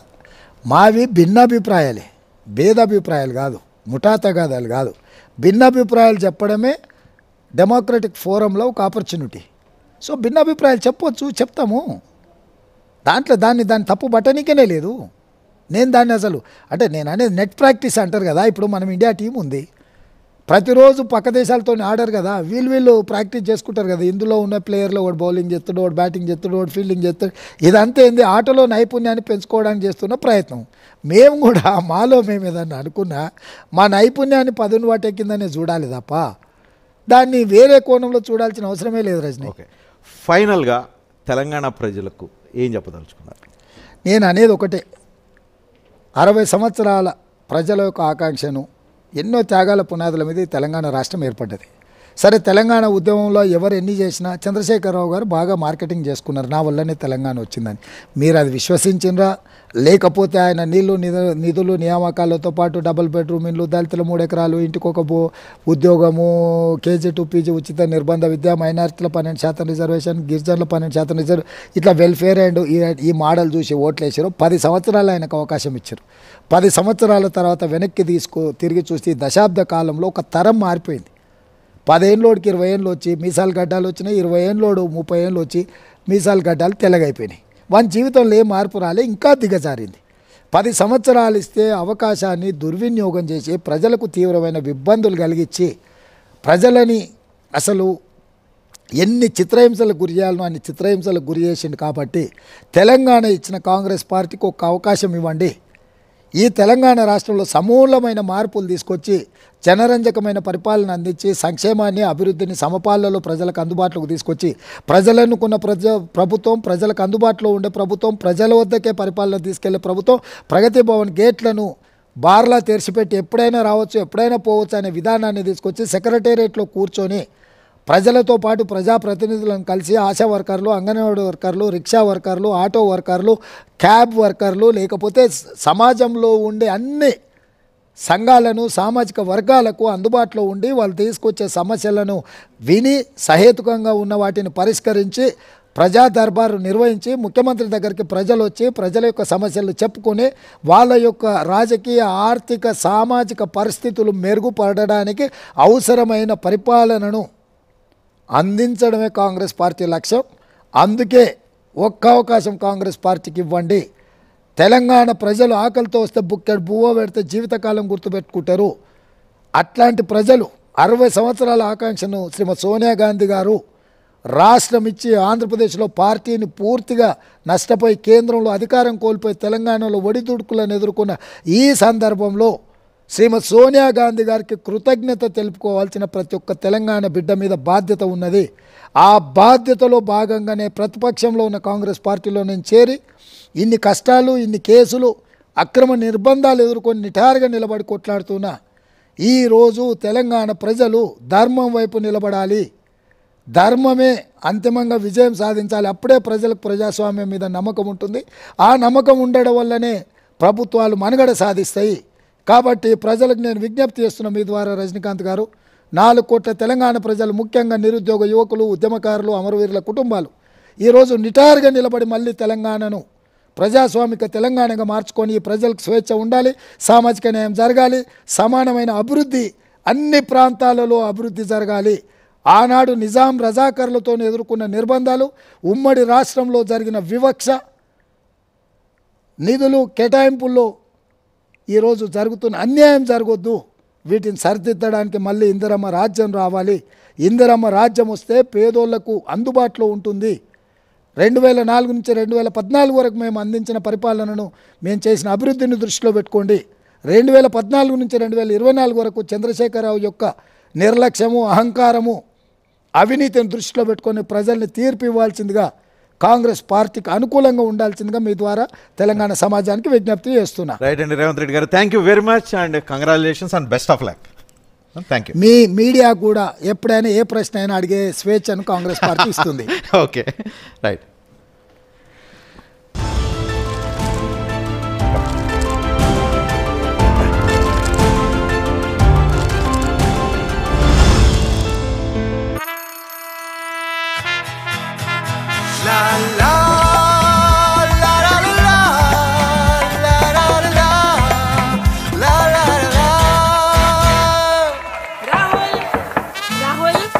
శరీరంతో పాటు మనసును మేల్కొల్పండి వీగార్డ్ వాటర్ హీటర్స్తో పాటు వీగార్డ్ కా garage network great claim cover great price wait wait wait వా price B great Tata AIG car insurance Trusted name, fantastic name.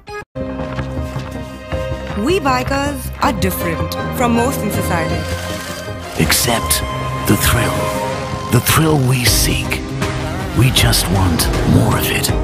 That thrill flows in our veins and in the veins of our machines. Motul. Next level thrill.